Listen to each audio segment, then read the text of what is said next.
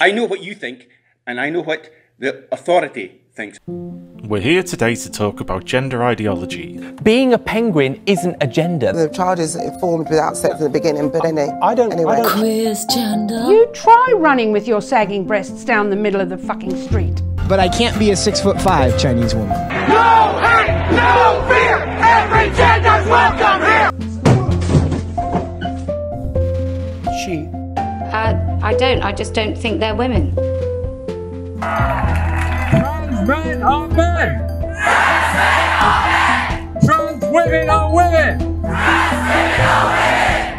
I'm not. and the often violently abusive behaviour of trans rights activists You cut that out now, or you'll go home in an ambulance.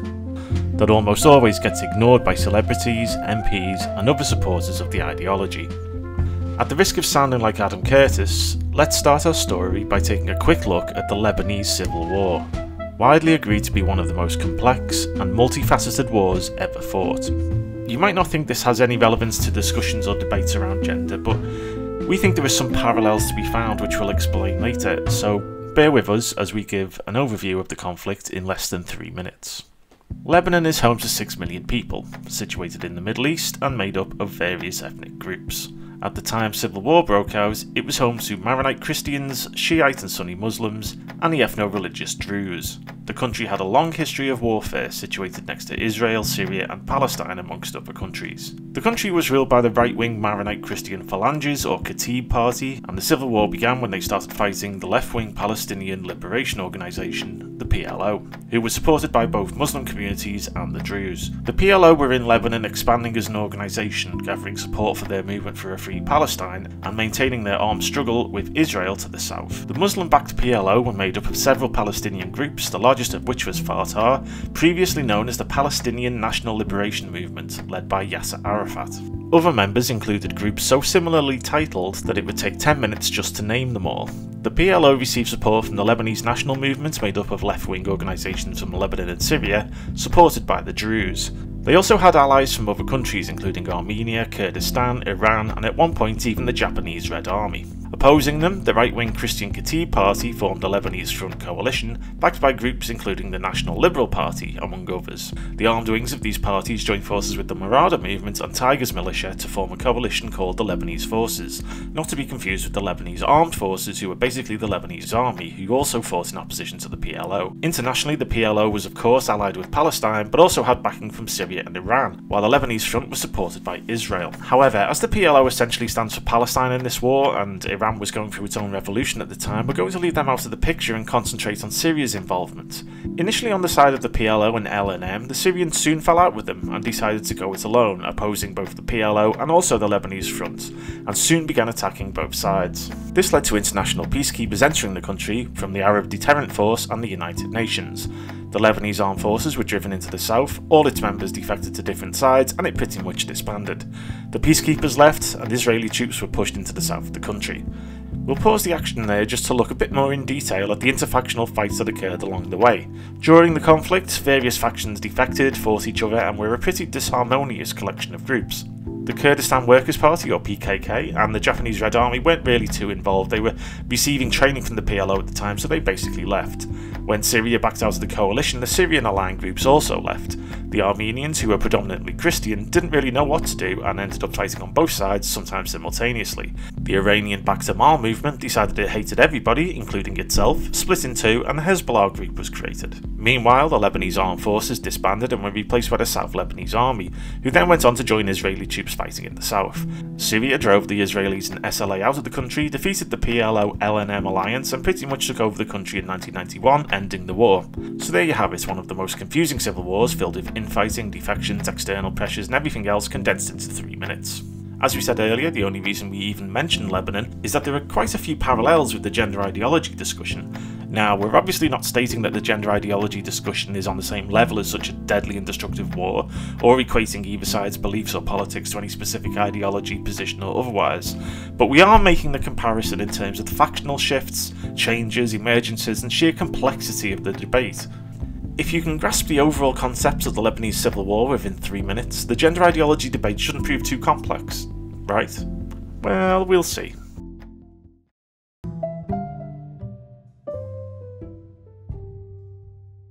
In recent history, the UK has been home to several political parties, on the left of the Labour Party and the Greens, toward the right of the Liberal Democrats and the Conservatives, along with the far right populist parties such as the BNP, EDL, or National Front. The UK was uniquely positioned within the EU, but also very closely allied to the USA, until it recently left the EU for reasons no one really understands. The Church, historically at least, played a very large part in the UK's politics, and began to clash with the nascent gay rights movement in the 60s and 70s. Let's take a closer look at the political support for the gay rights movement in the UK. The gay rights movement was set up to seek equality for lesbians, gays, and bisexuals, which became known more recently as the LGB community. This movement grew to include the transsexual community, people who physically transition from male to female or vice versa. It was supported by the Labour Party and to a lesser extent the Lib Dems, while the Conservative Party were in opposition to it, especially during the 1980s under the leadership of Margaret Thatcher. Also opposed were the Church and the far right groups such as the BNP, and more recently by elements of the alt-right. Meanwhile, the Green Party wasn't really involved because they were off looking at trees and being naked in fields. That has all changed in recent times, however, and the Conservatives and Greens, along with most of the country, rightly support LGBT rights. In fact, the Conservative and Lib Dem coalition were the ones to legalise gay marriage, a decision that even saw the Church reluctantly show their support. So, all was well, the people were happy, and only the far right had an issue. The battle had been won to a large extent, and everything seemed stable. However, a new ideology wormed its way over and got involved. This came from America and was called queer theory. All you need to know for this video is that queer theory brought along identity politics and the concept of transgenderism, and all hell has broken loose ever since. Let's take a quick look at transgenderism. Under the umbrella of the term transgender or trans, there are many other groups of people who identify as non-binary, asexual, pangender, queer gender, and gender fluid. These are just the main most referenced groups, however, as trans includes an almost unlimited amount of gender identities within it, including neurogender, vapogender, and tetrasgender, which is honestly not a joke. There are far too many to include all of them here now. Queer theory has also opened up the term trans to crossdressers and drag artists, autogynephilic or AGP men, heterosexual men who are sexually aroused at the idea of having a female body. Queer theory takes this further by adding transhumanists into the mix too, including fairies, rubber pups, and other fetish communities, all under the umbrella of trans. Finally, people called intersex, or suffering from disorders of sexual development, have also been included under this banner despite many of them not wanting to change their sex. This means that the previously sexuality-based LGBT rights movement has now become the gender-based LGBTQIA movement, entirely due to queer theory and the transgender movement that grew in American social studies courses spread online primarily through Tumblr and is heavily supported by groups and people such as Susie Green and Mermaids, the gay rights campaigner Peter Tatchell, Ruth Hunt at Stonewall, Benjamin Cohen at Pink News, Owen Jones and others at The Guardian, and Ash Sarkar and Aaron Bastani at Novara Media. So now the debate has shifted, it's no longer about gay, lesbian or bisexual rights, it's more of a political movement aligned with queer theory, which has become known as gender ideology. The gender ideology movement has looked to promote transgender rights online using social media, and has seen the creation of the trans rights activists, or TRAs. The very first thing these fundamental activists did was to bully the transsexual community out of their ideology, labelling them truscum for having undergone cross-sex surgery. Trans rights activists popularised the phrase trans women are women, changing the meaning from an initially figurative slogan designed to attract support for trans rights to a now literal belief that trans women are in fact biologically women. We'll look at this later on in our video. Needless to say, feminists weren't best pleased when they saw this autogynephilic men, men who were sexually aroused by the idea they have a female body, were now claiming access to women-only safe spaces, such as rape crisis shelters or communal changing rooms. Feminists and feminist groups opposing this were attacked by trans rights activists labelled TERFs or trans exclusionary radical feminists. Nothing perhaps demonstrates the move from a sexuality based movement to a gender based movement more than the splitting of feminist lesbians from the LGBTQIA movement, who joined with transsexuals and other allies to create the gender critical movement. A lot of this was in response to heterosexual autogynephilic men claiming to be lesbian women, despite not changing their sex in any other way than wearing women's clothing. The gender critical movement was attacked by very abusive trans rights activists and also anti feminist groups such as the men's rights movement, along with other misogynistic trolls on media such as Reddit, 4chan, and Twitter. At the same time, these trolls were also joined by the police, who received training from such gender ideology groups as Stonewall and Mermaids. In more recent times, large parts of the intersex community have left the LGBTQIA movement, unhappy that their disorders in sexual development are being appropriated and misrepresented to suggest there is a scientific basis for transgenderism. In fact, most of the scientific community is now squarely in the gender critical camp, as the denial of biology by the trans rights activists is pushed forward ever more frequently. Finally, the gender critical movement has seen a rise in detransitioners joining, many of whom have been almost excommunicated from the transgender community and received abuse rather than support from trans rights activists once they decided to revert back to their original gender. So, in summary, that's how the gender critical side began, as a pushback to the often violent and abusive trans rights activists. You transphobic piece of shit. This is the protesters who have a right to protest but not to intimidate. They're kicking on the windows to stop the meeting. The police are doing nothing. They're just standing there and letting people kick the window. Police are doing nothing. Police are still doing nothing. So intimidation of women is continuing. Police are doing nothing. Our experience made us realise actually how bad the state of women's In, I'm getting fed up with this, you know. I've had things thrown at me. I've been accused of things I have never done or said. Uh, people seem to have no concern about evidence or, uh, indeed, um, even about libel. If a man is, has his gender reassigned and outwardly and he feels inwardly is a woman, in your view, can he be a woman or not? No. There are two genders, male and female. Sometimes you're not lucky enough to be born into the right one, so you transition into the one that you suit the most. Which seems to me eminently sensible, and I have complete respect for people that do that. It's not an easy process, physically, psychologically, emotionally, or any of those things. I salute you for your common sense. Now, let's bring you into this equation. Different. There are a hundred different genders on this BBC list, mm. apparently. Right? One of them is two-spirit person, polygender, pangender, neutroids, intergender. I have to gender say, they mean? I have no idea what they mean. There are a hundred genders they can identify as. You have come to defend it, and you don't know what half of these are. But hang on, Piers, ignorance isn't a defence. You're the ignorant one, and you're the one defending it. What this does, it actually makes, I think, people who have transgendered, it makes them figures of fun. It exposes Yeah. them to needless mockery. It makes the whole thing look ridiculous. and actually, the real victims tend to be people who have transgendered and have to put up with this nonsense. How many sexualities do you think there are? Uh, oh, well, don't ask me to.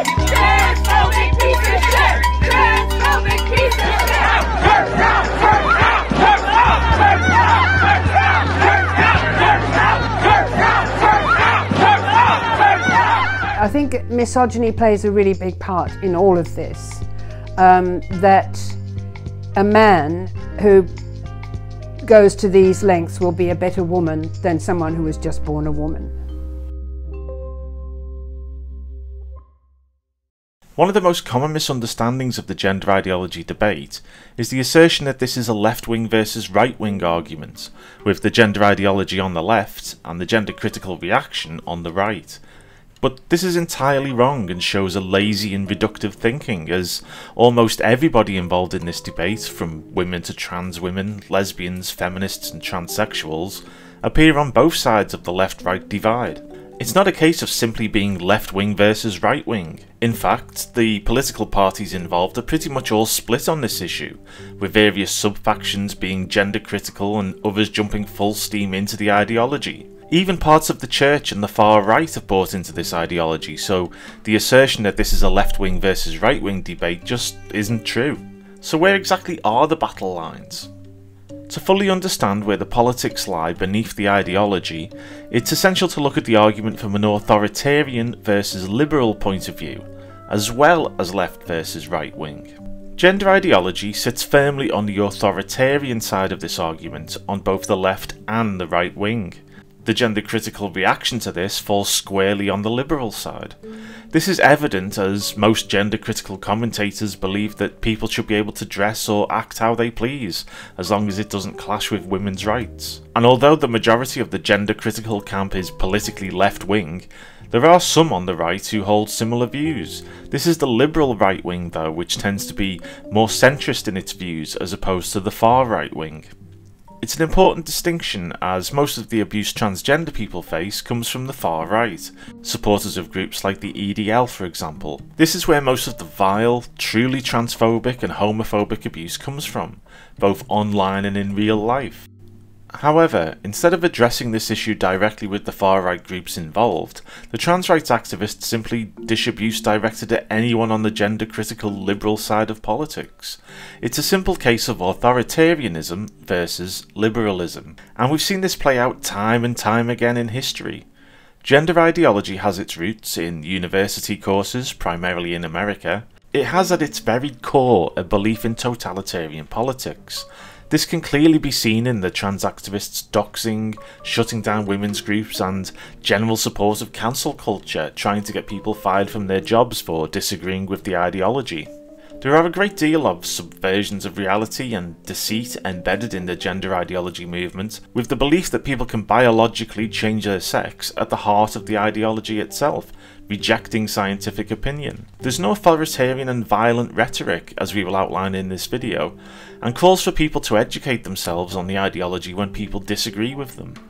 Add to that the silencing of any and all criticism and an anti scientific belief system, along with faith in a utopian future that can't be sustained, and you can clearly see the gender ideology mirroring previous ideologies, specifically Maoism, the communist ideology espoused by Mao Zedong in the 60s and 70s in China, which led to over 30 million deaths in Mao's Cultural Revolution. And you know who else agreed with Mao? Yasser Arafat and the PLO, who claimed that Maoist China was the biggest influence in supporting our revolution and strengthening its perseverance. Mao's quotes in the Little Red Book are made compulsory reading. With themes such as correcting mistaken ideas, the quotations become the standard by which all revolutionary efforts are judged. A youth organization called the Red Guards springs up throughout the country, preaching the teachings of Mao. The Red Guards travel all over the country, smashing the old culture, destroying much of the cultural heritage.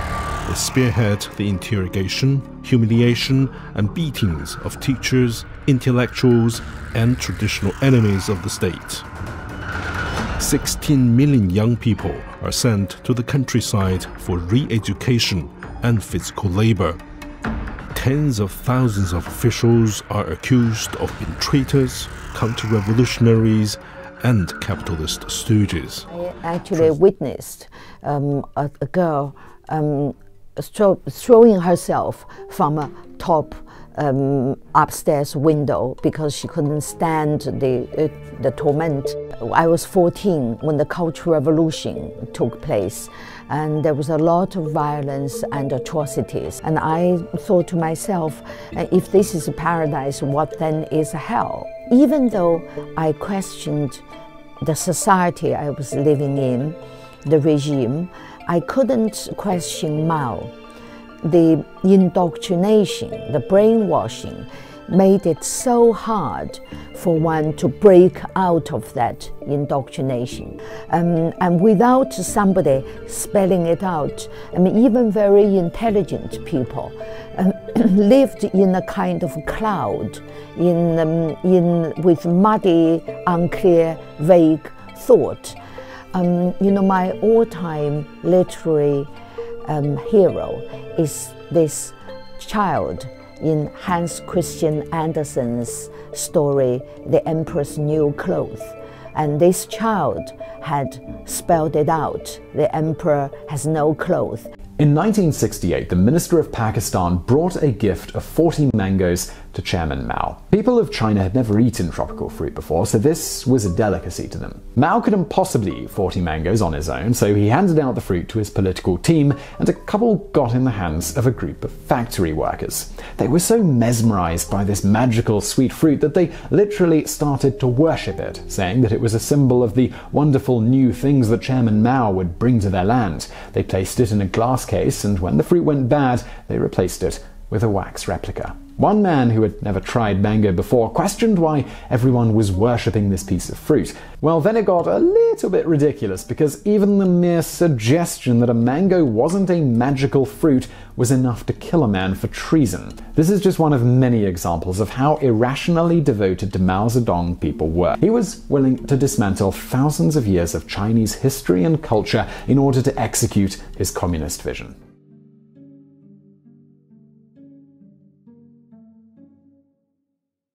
We've mentioned autogynephilic or AGP men, and it's worth taking a moment to describe who they are, given they play quite a big role in pushing the gender ideology forward. Dr. Ray Blanchard from the University of Toronto coined the phrase autogynephilia in order to distinguish two types of transgender males that he observed in clinical practice. Traditionally, most people think of transgender people as homosexual transsexuals, who transitioned due to ongoing gender dysphoria, displaying femininity from childhood. But, Blanchard observed, these are not the only males who may look to change their gender. There is a second group known as autogynephiles, or AGP men. Blanchard's studies show that AGP men are heterosexuals, men who typically enjoy traditionally male pursuits or have worked in very masculine occupations such as the military. These men are sexually aroused by both cross dressing and the very idea of being a woman, fetishizing this notion. Blanchard suggested that there are four types of autogynephilia, which AGP males may have individually or in combination, all of them distinct from the homosexual transsexuals that most people may imagine when thinking of trans women. These include transvestic autogynephilia, an arousal to cross dressing, behavioural autogynephilia, an arousal to the act or fantasy of doing something regarded feminine, behaving as women for sexual gratification. Physiological autogynephilia, which is an arousal to fantasies of having the bodily functions of women, including becoming pregnant or having periods. And anatomic autogynephilia, arousal to the fantasy of having female anatomic features, deriving sexual pleasure from the idea of having female genitals, for example. What I had said uh, was that there are two ideologically different types of male to female transsexualism. They're similar, only that they eventually present with a request for sex reassignment surgery, but where they're coming from was very different. And beyond that, I said one type was associated with ordinary homosexuality. You might think of them as like Kinsey Nines. And um, the other type were associated with uh, an erotic erotic excitement at the idea of being or looking like a female. Something similar to the old concept of fetishistic transvestism, except I made it more general. It contradicted their notion of themselves. They really wanted to go with the woman trapped in a man's body, which often became lesbian trapped in a man's body. They wanted to go with that. And although I never ever said this type of transsexualism is nothing but a sexual fetish, that was how they read what I was saying. What I said was, this is the foundation, the basis. This particular erotic preference gets the ball rolling, but this type of sexual preference, which I called autogynephilia, can result in a gender identity inversion that has much broader ramifications. I know for a fact that many autogynephilic male to female transsexuals are not truthful about their history of sexual arousal with cross dressing. You know this either because they've changed their story when you look at their clinical charts and they said something different five years ago from what they're saying now. Sometimes you know it because you get to talk to the wife and the wife gives a picture of what their sex life had been that's totally different from what the patient tells you. As I told you, the circumstances when I invented the word autogynephilia, I thought I was writing for maybe a few hundred people around the world. Right. I certainly did not invent the word as a term of reproach. Now I think a lot of trans activists are trying to sell it as a bad word. This is a word that should never be uttered in polite society or anywhere else. But that's the spin that they're trying to put on the word because they actually want to obliterate the concept from public awareness. They're not concerned about what word is applied. And I think they're only secondarily concerned about what stigma is attached to it because they're basically the ones who are connecting it with stigma. I think they don't want the concept to exist. They don't want people to think about it. Let's take a step back to recap. Similar to the Lebanese civil war, we can look at the factional infighting that has occurred along the way. The LGB movement had strong support from almost all political groups in the UK, with only a small minority of people opposed to rights for gays, lesbians, bisexuals, and transsexuals. Then the transgender ideology came along, bringing with it identity politics and a huge amount of different, ever more specific gender identities. This included the furries, rubber pups, drag artists, crossdressers, and most problematically, autogynephilic men, turning it from a movement based on a person's sexuality to one based on a person's gender identity, changing the LGB to LGBTQIA. Transsexuals were bullied out by this new community and transgender took over within the movement. The likes of Stonewall and Mermaid supported this move towards transgenderism and away from sexuality, and a trans rights activist sprung forth using Tumblr, Reddit, and Twitter to harass, abuse, and bully people into believing their ideology. The police were used by the trans rights activists' groups to enforce their tactics after the police were pushed into the ideology by groups such as Stonewall and Mermaids. Left wing media outlets like Pink News, The Guardian, and Novara Media jumped at the chance to report on the gender ideology movement and away from the typical stories concerning gay and lesbian issues. Trolls and men's rights activists have used the transgender ideology as a screen from behind which they can bully and harass women. Seeing this, many lesbians have left the movement along with feminists, most of whom were or are Labour members, causing a huge split on this issue within the party. Many groups have been set up to fight for women's existing rights, such as A Woman's Place UK. And people with intersex conditions, many of whom were unhappy being dragged into the trans community to begin with, have disassociated themselves from the movement. More recently, a lot of gay men and bisexuals have also left, and the sexuality based LGB Alliance group, which also includes transsexuals, was created to give them support and fight for their rights, after the failings of Stonewall and the transgender movement became apparent.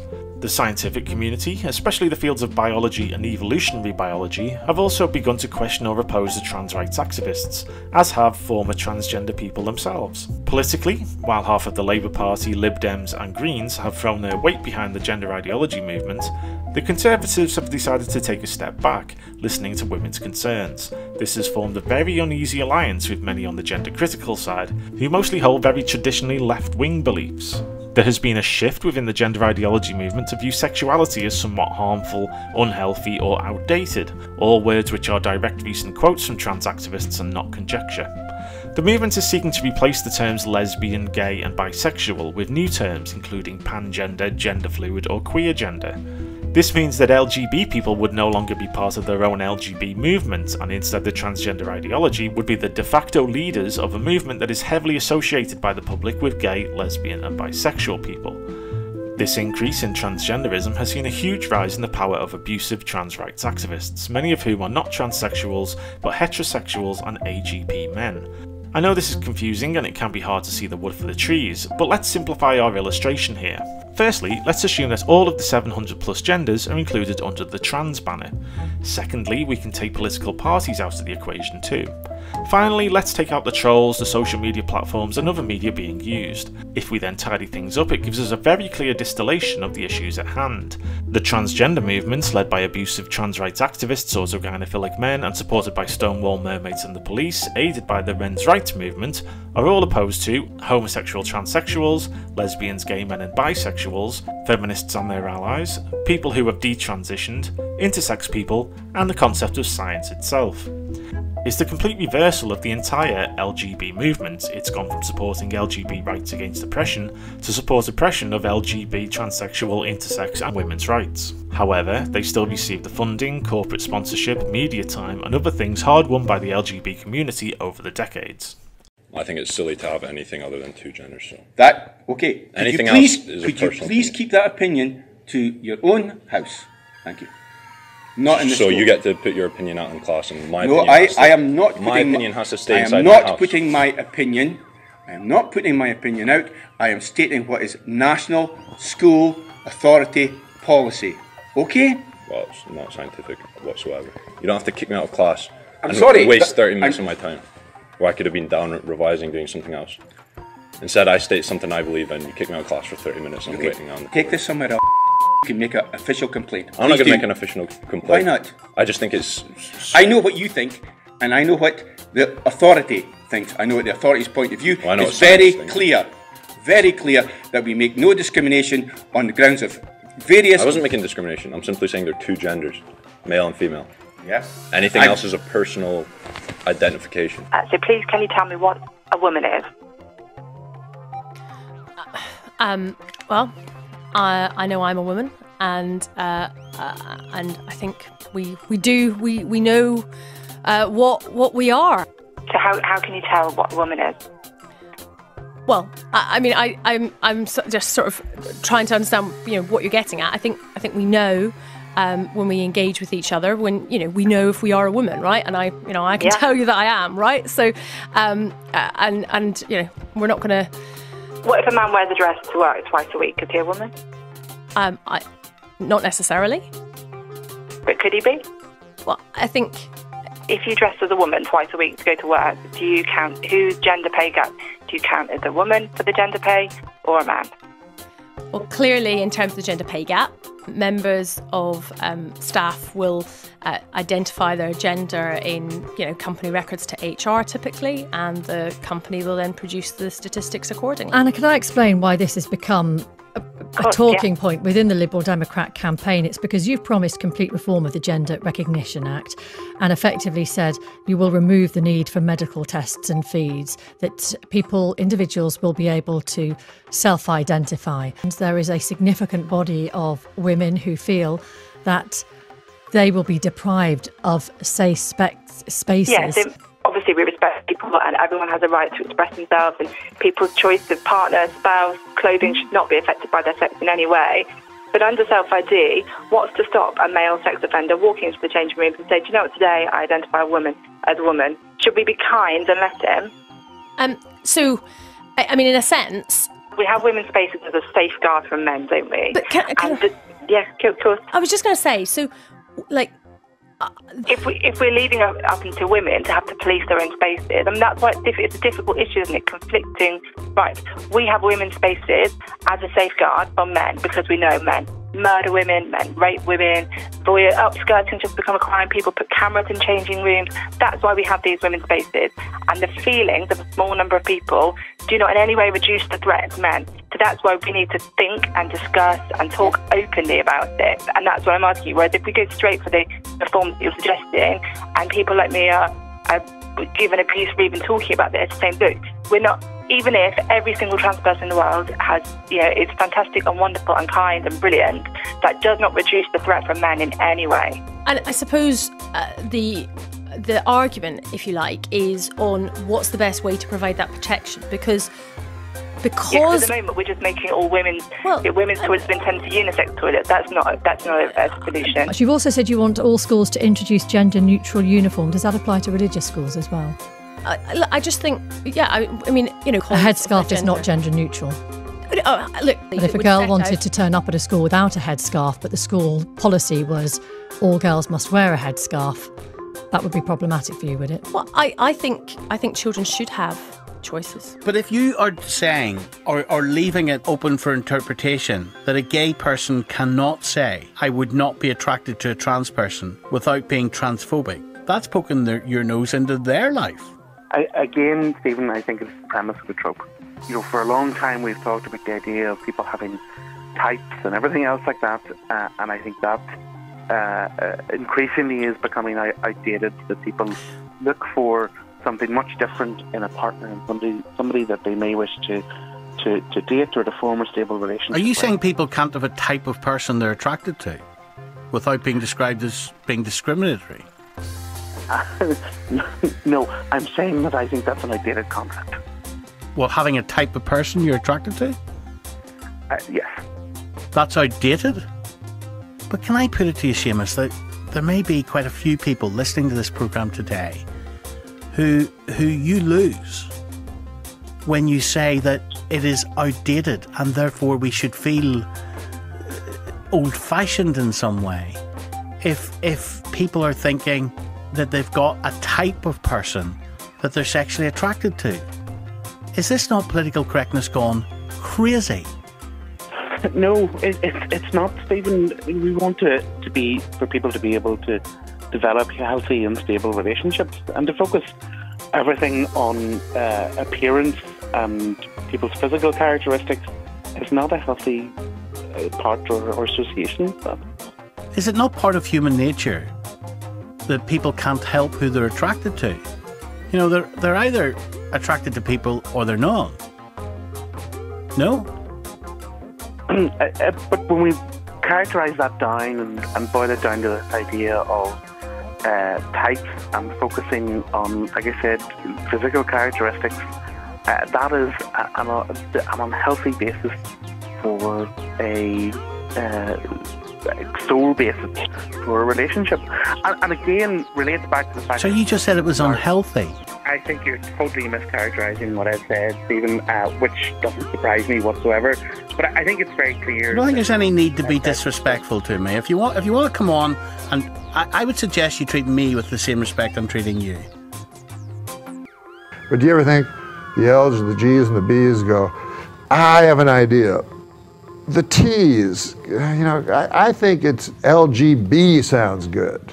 And then somebody else would go, somebody with a hat that looked like Carmen Miranda's would go, no, I like LGBT. and then the other person, you're going to get a lot of trouble for this segment. Gender ideology is very vocally supported by a number of celebrities, MPs, and other names within the UK, including Susie Green, Peter Tatchell, Ruth Hunt, Benjamin Cohen, Owen Jones, Ash Sarkar and Aaron Bastani, as we previously mentioned, the QC, Jolyon Maugham, Jo Swinson, former leader of the Liberal Democrats, Labour MPs including Lisa Nandy, Rebecca Long Bailey, Lloyd Russell Moyle, Dawn Butler, and Nadia Whittome, the SNPs, Mary Black, Tory MPs, Elliot Colburn, Crispin Blunt, and Justine Greening, celebrities such as Billy Bragg, Frankie Boyle,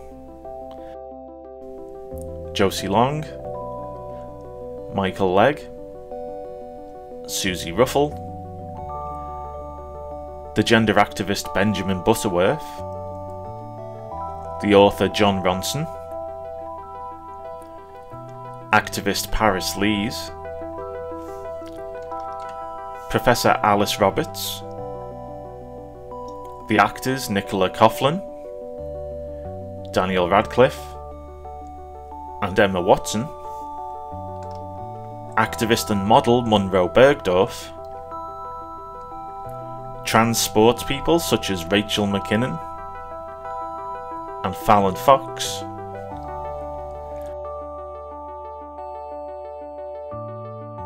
and perhaps the most strident trans rights activist supporters, Jameela Jamil,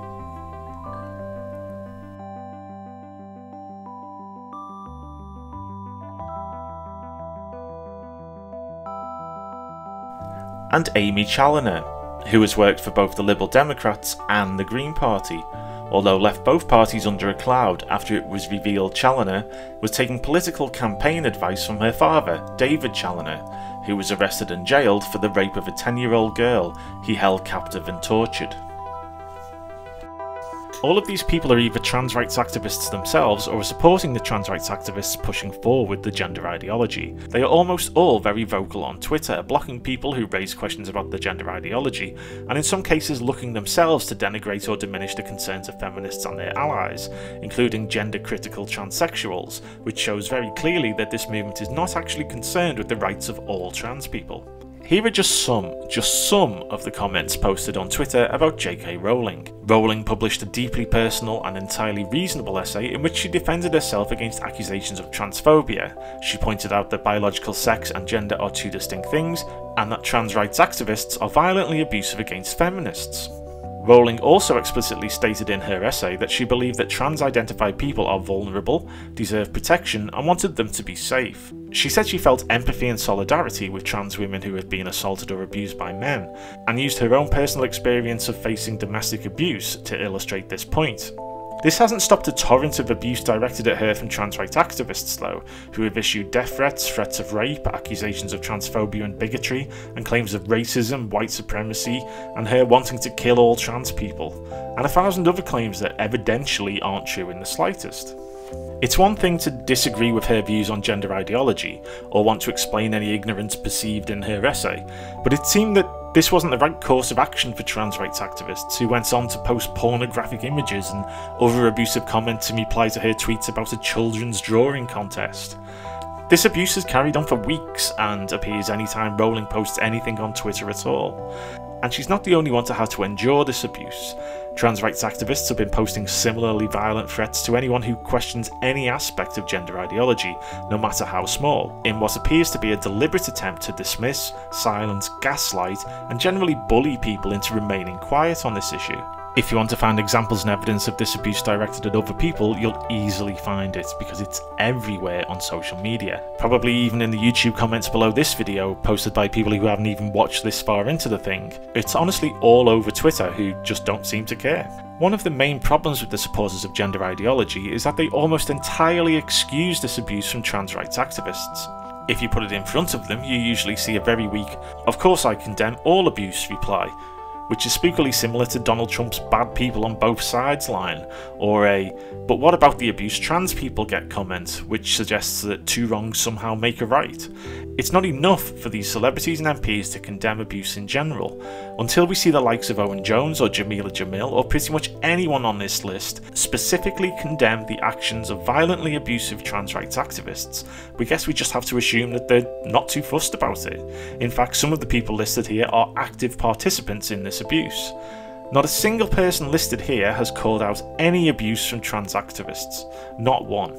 They've barely even acknowledged it is an issue, and when they do, they just seem to wave it away, saying, oh, of course it's bad, but what can we do?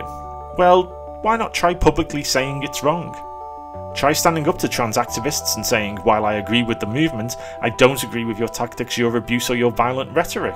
Unless these celebrities and MPs are fully in support of this abuse and think it's all fair game and part of the good fight, then it shouldn't be too difficult for them to do that. They each have large platforms and could go a long way to taking the heat out of this discussion and frankly reducing the number of women being verbally abused online or harmed in real life. There's a term known as partialising. This is basically exploiting the disreputable attributes of one side of a conflict while ignoring or hiding the disreputable attributes of your own party. Here's an example from the Lebanese civil war. The leader of the PLO, Yasser Arafat, was quoted as saying, Whoever stands by a just cause cannot possibly be called a terrorist, and we totally and absolutely renounce all forms of terrorism. Sound familiar? At the time of making these quotes, members of the PLO were engaged in many terrorist atrocities, including blowing up buses, killing innocent women and children, and were actively involved in guerrilla warfare. Although they aren't terrorists or fighting in an armed conflict, this is what trans rights activists and their supporters do all the time. The partialisation is exactly the same. They denigrate the behaviour of gender critical people as abusive or transphobic, ignoring the masses of violent abuse their own side dishes out. Wolf's girlfriend comes after me, desperately trying to get my camera from me. Wolf comes up and thumps me and runs away. Initially, some people thought I was being attacked by four trans activists, but this is actually feminist hero um, Helen Steel I wasn't sure what was happening except that this guy was trying to steal my camera and I was desperately trying to hold on to it. And Ponytail Man now turns on one of them, pushes her, and well, let's say he loses touch with his feminine side, assuming he thinks he has one. See him aggressively striding towards this small woman, showing her who's the man and forcing her to retreat. Meanwhile, on the right, you see his mate's body bent over as he's pulling with all his might to get my camera, which is still looped round my wrist while I'm trying to hold onto my property and stop him running away with it. Finally, he got my camera from me and he smashes it. Want to see that again, even slower? I'll zoom in so you can see the camera in his hand, zoom out, and you can see it hit the ground. And then Tara Wolf comes over and thumps me twice. Now, where is Ponytail? Here he is. It's a shame you can't see him punch me in the face. It wasn't a hard punch, and he kicked me a couple of times, and I somehow lost balance and ended up on the ground. And as I remember it, that was the only point that I felt scared that I might get badly hurt. But the three cowards ran off, helped by their mates, and here I am getting up. One seems to think he's in a mosh pit. His mate attacks Maria, and then uh, his other mate comes in from the right side to grab her as well, and she ends up on the floor. And you can see they're trying to hide their faces because they don't want the world to know that they're cowards. But we've got clear pictures of each one of them. I held someone, you know, from IFI back. I really. Okay, so, so who was it? Who was it then? Who? Look, I'm not gonna get anyone, dom anyone in, because like we should. What, so you think it's okay for men to hit women?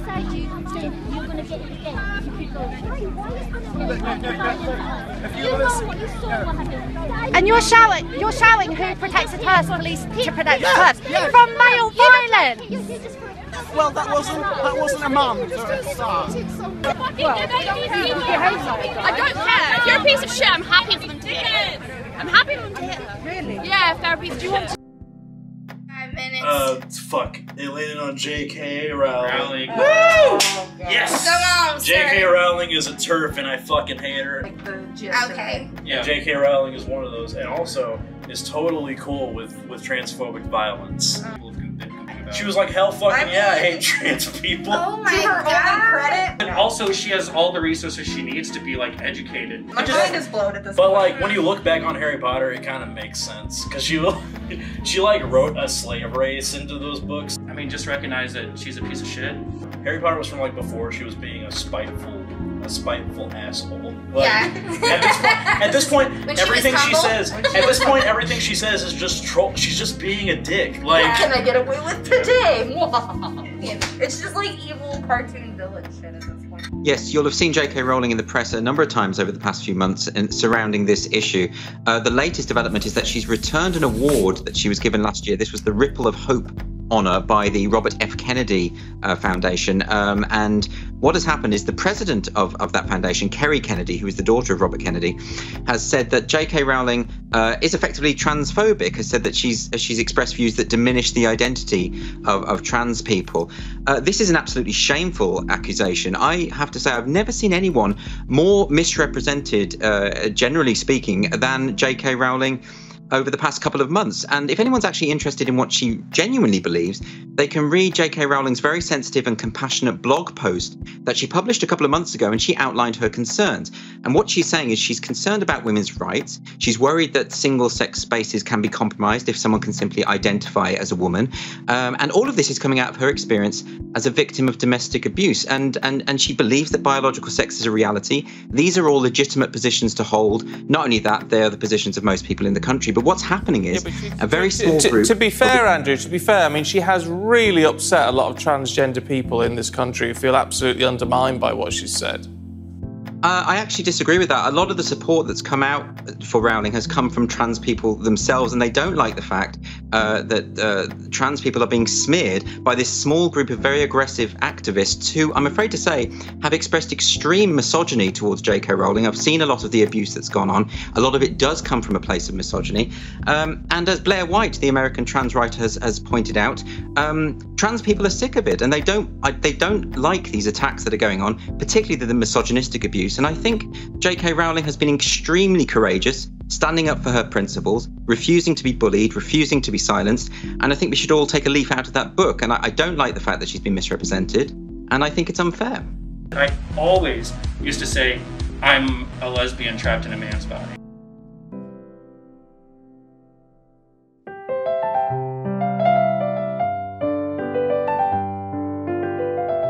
The issue here is trans activists, not trans people.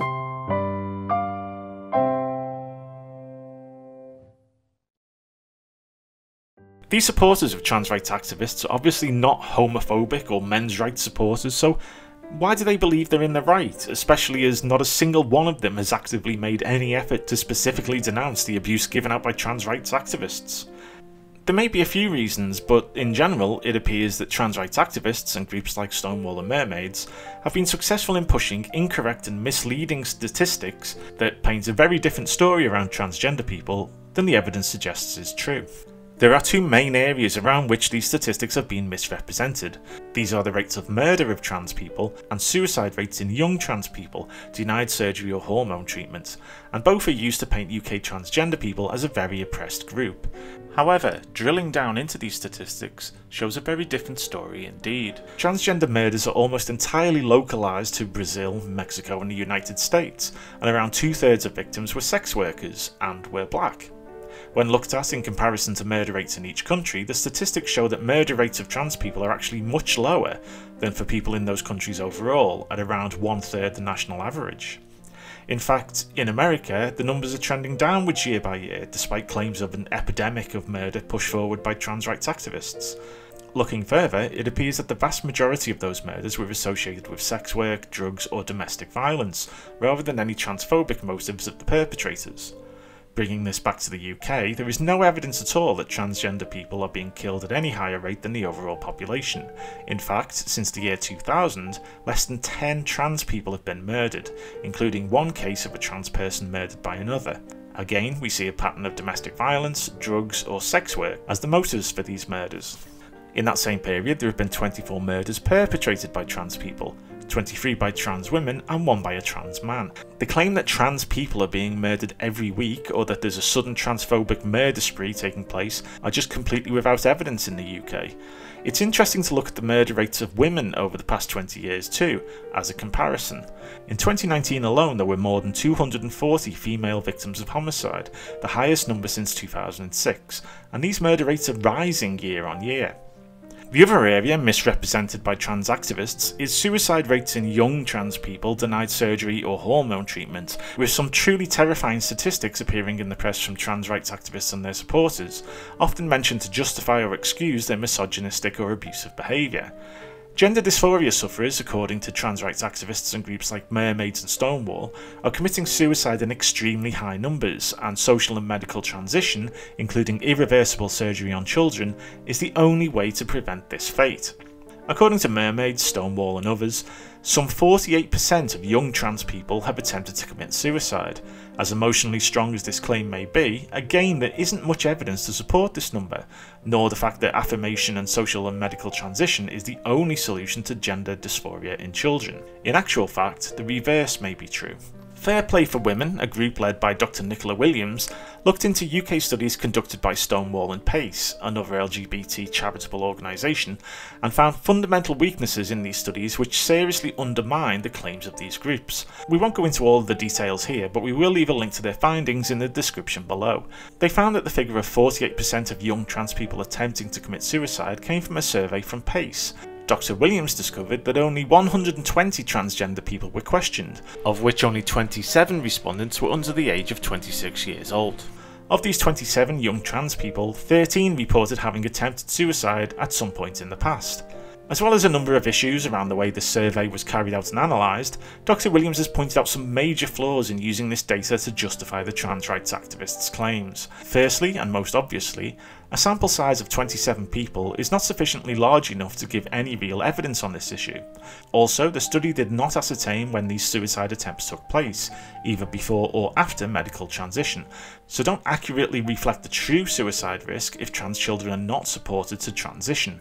Mermaids, the charity group supporting medical and social transition of young people, are also claimed to have used these statistics in a very misleading way, stating that the 48% figure comes from a survey of over 2,000 trans people, rather than a survey of 2,000 LGBT people, of whom a total of only 27 identified as trans.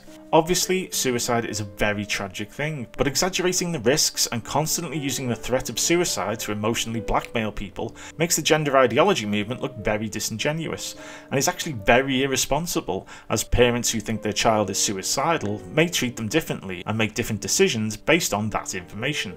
Young people have a very high rate of suicide attempts in general when compared to the overall population, and gay, lesbian, and bisexual young people who do not identify as trans also have incredibly high suicide attempt rates.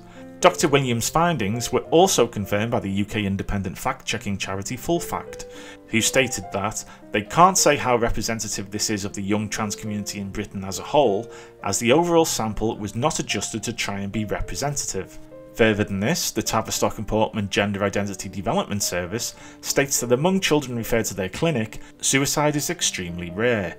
Dr. Polly Carmichael, Director and Consultant Clinical Psychologist at the Tavistock Clinic, stated that the PACE survey is deeply flawed and that rates of self harm, distress, and suicidal ideation are similar to children and young people's mental health service figures overall. None of this is to say that suicide rates among young people or young gay, lesbian, bisexual, and trans identifying people aren't crazily high. They are, and this is a huge problem. What we are saying is that using misleading statistics around suicide rates to promote gender transition in children is problematic at best, underhanded and immoral at worst. Just as a side note here, it seems that mermaids are slowly but surely being found out at the moment for pushing these misleading stats and promoting the transition of children and young people. In the course of writing and creating this video, they've been dropped by the BBC from their trans information pages. I have heard activists say that we have to allow children to medically transition to prevent them from killing themselves. I hear this a lot. It's one of the most powerful arguments that trans activists make, and it's very compelling. No parent wants to be responsible for the death of their child, especially by suicide.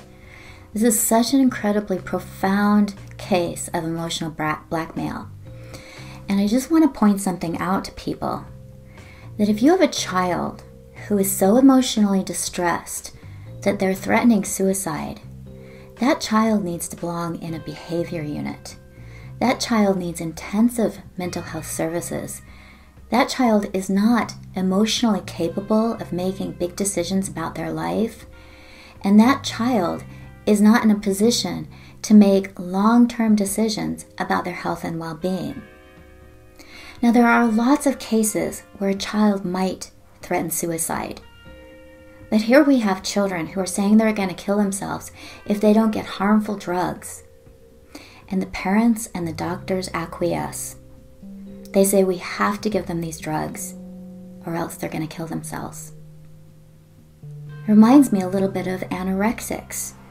If an anorexic threatened to kill herself if doctors didn't give her liposuction, the doctors wouldn't give her liposuction, her parents wouldn't give her liposuction, and teachers wouldn't encourage her to pursue liposuction. No. We would get that child help quickly because we'd know that there was a problem, that that child felt so uncomfortable in her body that she wanted to kill herself if she couldn't change it. And that's what gender identity disorder, gender dysphoria, a trans identity is all about. It's about being so uncomfortable in your body that you want to change it.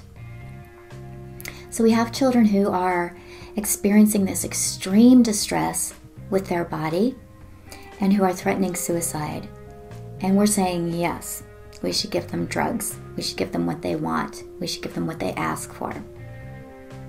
This is so irresponsible on so many levels. It's medical malpractice, and it's horrifying that trans activists are telling parents that it's better to have a transgender child than a dead child.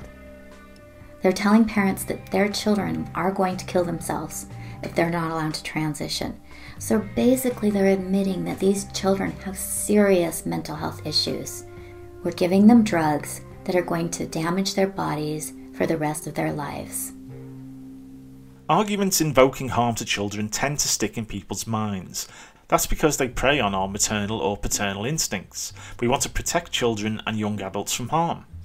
The gender ideology movement uses them all the time. This is known as pedophrasty, the use of children in an argument to prop up a rationalisation, silence opponents, and suspend judgment or critical thinking. This isn't just the same as using children's experiences to make a point, it's the fact that the points are either disingenuous, incorrect, misrepresented, or outright lies that makes pedophrasty a distinctly separate concept. For the most famous example of this, we can travel back to 1990, when the Lebanese civil war was ending and Saddam Hussein's influence in Kuwait was growing. This is Nayirah, a 15 year old girl giving testimony to the US Congress, claiming horrific atrocities by Iraqi soldiers in a very emotional statement. Our final witness is also using an assumed name. And again, we ask uh, our friends in the media to respect the need to, for her to protect her family. And we finally call on Nayirah to testify. My mother and I were in Kuwait on August 2nd for a peaceful summer holiday. My older sister had a baby on July 29th, and we wanted to spend some time in Kuwait with her. I only pray that none of my 10th grade classmates had a summer vacation like I did. I may have wished sometime that I could be an adult, that I could grow up quickly. What I saw happen to the children of Kuwait and to my country has changed my life forever. It has changed the life of all Kuwaitis, young and old. We are children no more. The second week after invasion, I volunteered, volunteered at the Al Adan hospital with 12 other women who wanted to help as well. I was the youngest volunteer. The other women were from 20 to 30 years old. While I was there, I saw the Iraqi soldiers come into the hospital with guns. They took the babies out of the incubators, took the incubators, and left the children to die on the cold floor. It was horrifying. If an Iraqi soldier was found dead in a neighborhood, they burned to the ground all the houses in, in the general vicinity and would not let firefighters come until the, until the, only ash and rubble was left. I'm glad I'm 15, old enough to remember Kuwait before Saddam Hussein destroyed it, and young enough to rebuild it. Thank you.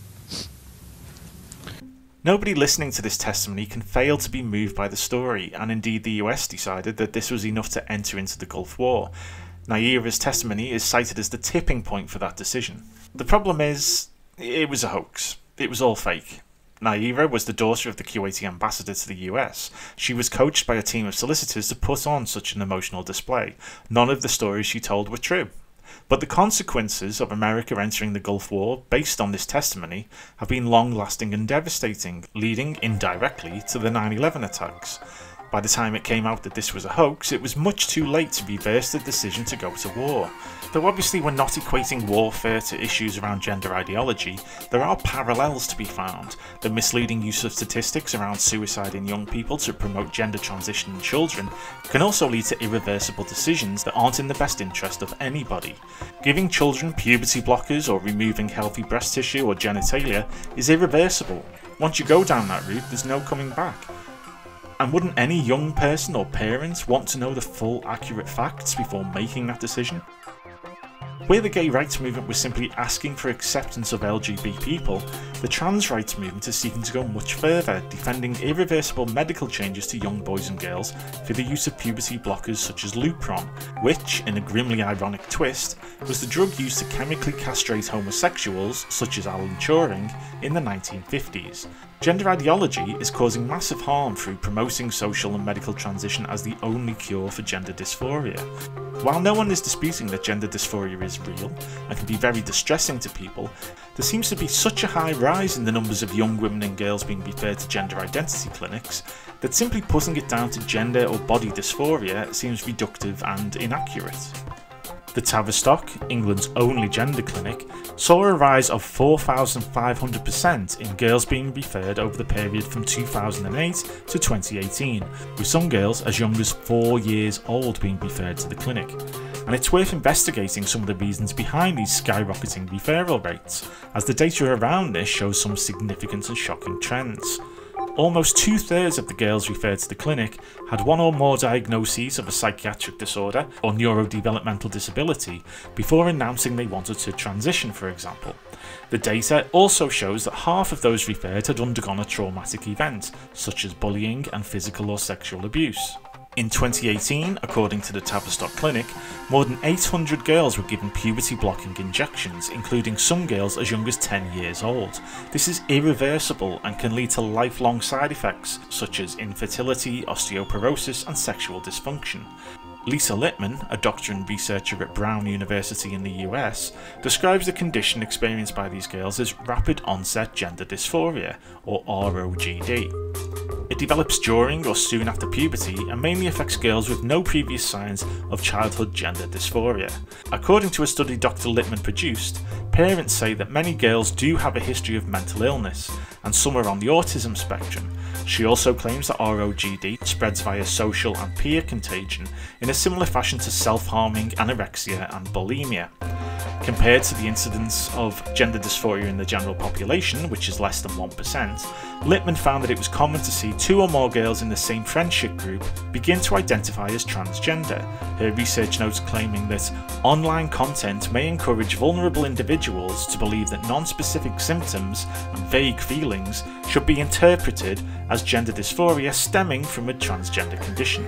And this is borne out by evidence elsewhere. It was reported in 2018 that 17 pupils at one single school in the UK were transgender.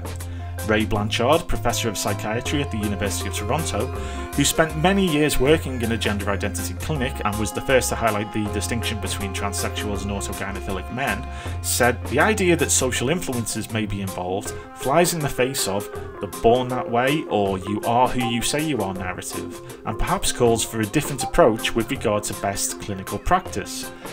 The most worrying finding in Littman's study, however, was that many of the cases of gender dysphoria experienced by these girls resolved itself within a couple of years.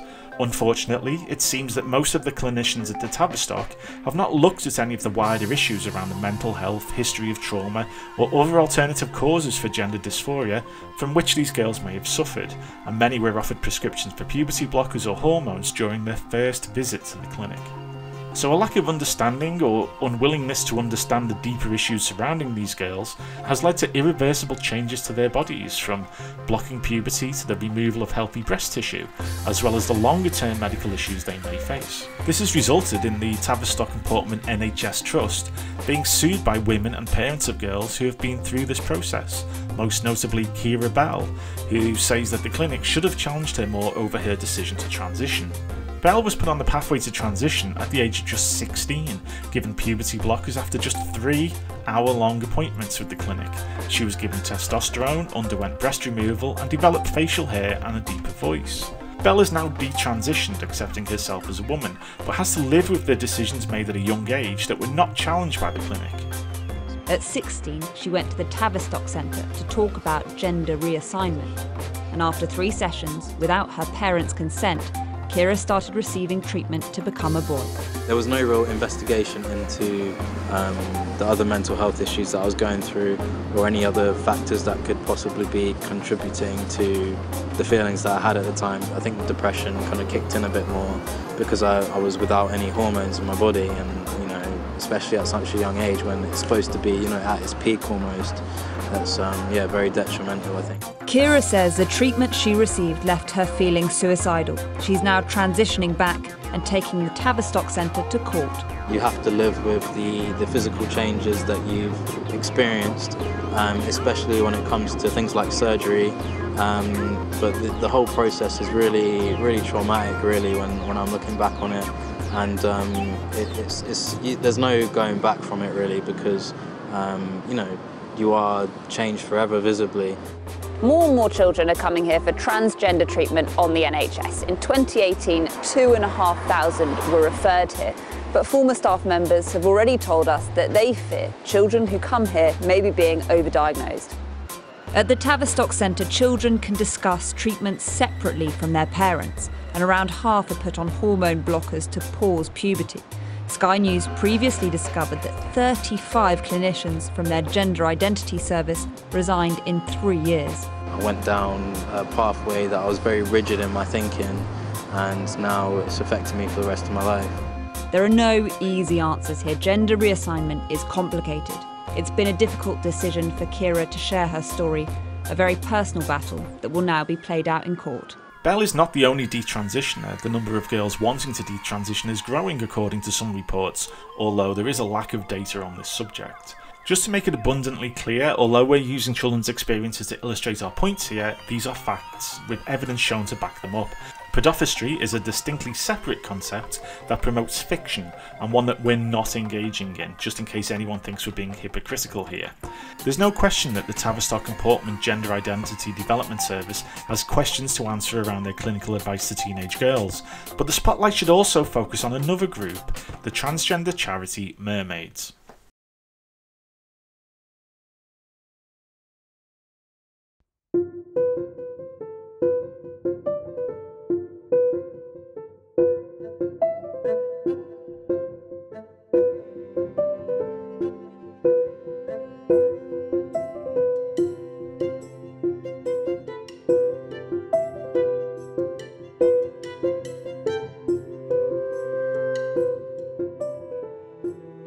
Mermaids, led by Susie Green, have been very vocal in their lobbying of the public and clinical practices in the UK.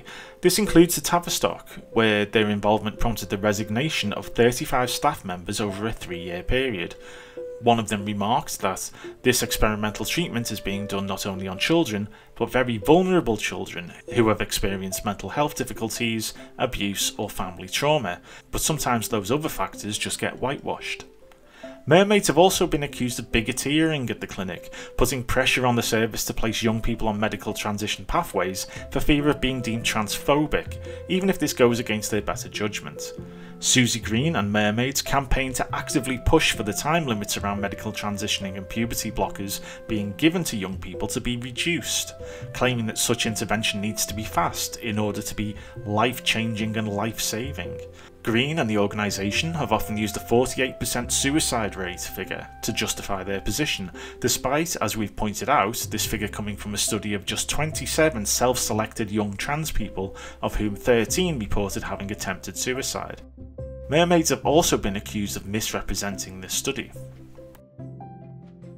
There's no question at all that some young people will and do suffer from gender dysphoria, and in some cases, a medical transition approach may be the best option for them. That's not what we or anyone else is disputing here. We're simply pointing out that the evidence appears to suggest that this isn't the case for everyone, and that it certainly doesn't appear to be the cure all that Mermaid states it is. But Mermaids are supported very vocally by trans rights activists and their supporters, with people like Owen Jones, Prince Harry, and others all lending their support to the charity, who also receive lottery funding. And despite their campaigning and Green herself appearing in the media quite often to promote their charity, it appears they are unwilling to answer questions about their methods or motives.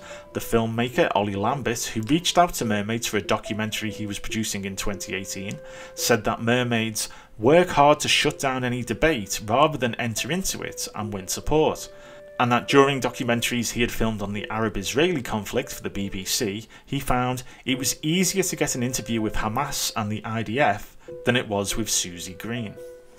Trans rights activists and their supporters have been incredibly quick to launch attacks on any reports of ROGD, claiming that it doesn't exist, that Dr. Littman's research was flawed, and that increased rates of referral are being seen because being transgender is now more acceptable in society. Which may be a good point, except if this was truly the case, the numbers of people wanting to change their gender would be more even across all age ranges, both male and female, rather than specifically teenage or younger girls. Anyone questioning this is almost immediately met with bigoteering attacks from trans rights activists, who will claim these questions amount to transphobia. Graham Linehan being one example of this, who was constantly and consistently targeted by trans rights activists for questioning mermaids and the Tavistock. You've been vilified mm-hmm. on social media and that you've even lost work as a result of speaking out in this trans debate? Uh, there's protests, they get shut down. Um, uh, Kathleen Stock had a freedom of information request about her emails. You know, it, it's insane the abuse and harassment they face. Um, children are uh, basically being experimented on with uh, puberty blockers. Lupron, which is which is um, a drug that's supposed to be meant for end-stage cancer treatment, uh, prostate cancer treatment, is being given to okay, young girls. These... It has never been tested on girls. It has never been tested on women. If you look at the Tavistock, 35 psychologists have quit the Tavistock in three years. Does that that's sound... One of, that's one of the centres uh, which deals specifically with um, people yes. who think that they want to uh, change their gender. Yes, that's 35 over three years. Do you think that sounds like a healthy environment for children? I've no idea what the reason why people might be leaving are, but I know 35 that psychologists. the I've spoken being to able other. to come I've, forward I've spoken and to other talk psych- about issues that they feel. Uh, it's entirely up to them whether or not they want to do that. Nobody's forcing No, anybody no, into I'm sorry. here. You don't tell children that they were born in the wrong body because they're children and they will believe you. That's the. These are. I've seen kids. Uh, there are reports from the Tavistock that children as young as four were brought in. These are children. You know, children as, as are still believing in Santa when they're ten.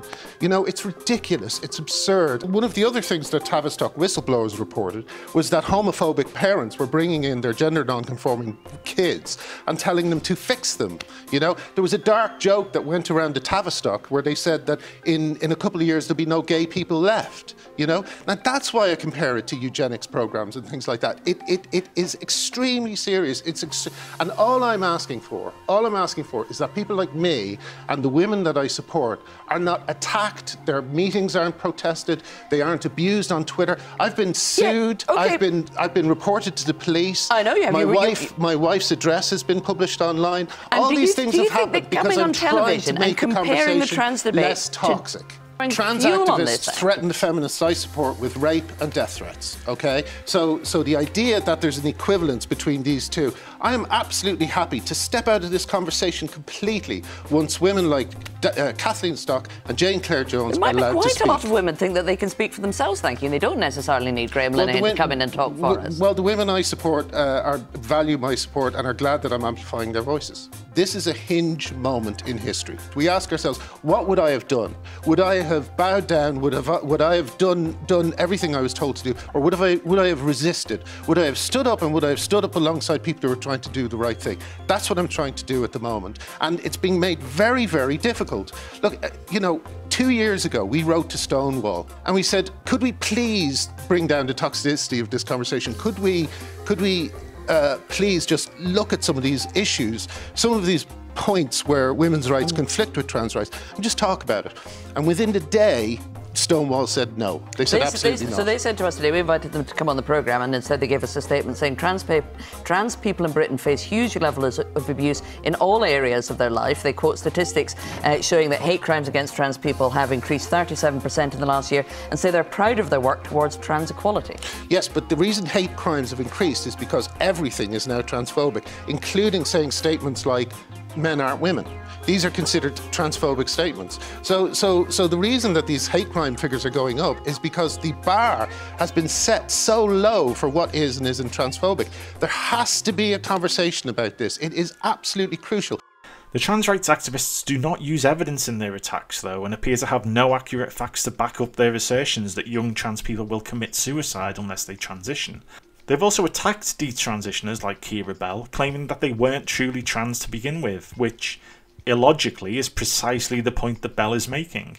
And they all stick to the line that trans women are women, and that there should be no debate or discussion around this. Well, it's estimated that around 48 children a week are now being referred to the Tavistock and Portman Trust, which is the NHS's first transgender clinic specifically for children. Well, a mother of a 15 year old girl with autism is now taking legal action against the clinic to try to stop them giving her daughter hormone blockers after claiming the centre misinform families and rush into treatment without proper assessment. Well, former Tavistock therapist Sue Evans is now speaking out about this. When I was there, there were about 100 children a year referred, whereas Right. now there's about 2,000. There were certain clinicians who would refer children after maybe four or five meetings, and I found that to be shocking. I didn't think it was enough to send a child off for hormone treatment at, at such a young age Mhm. with so little investigation into really what was going on in their, What their age? life. What age are you talking about? There are children as young as 11 or 12 who might be offered these blockers. People being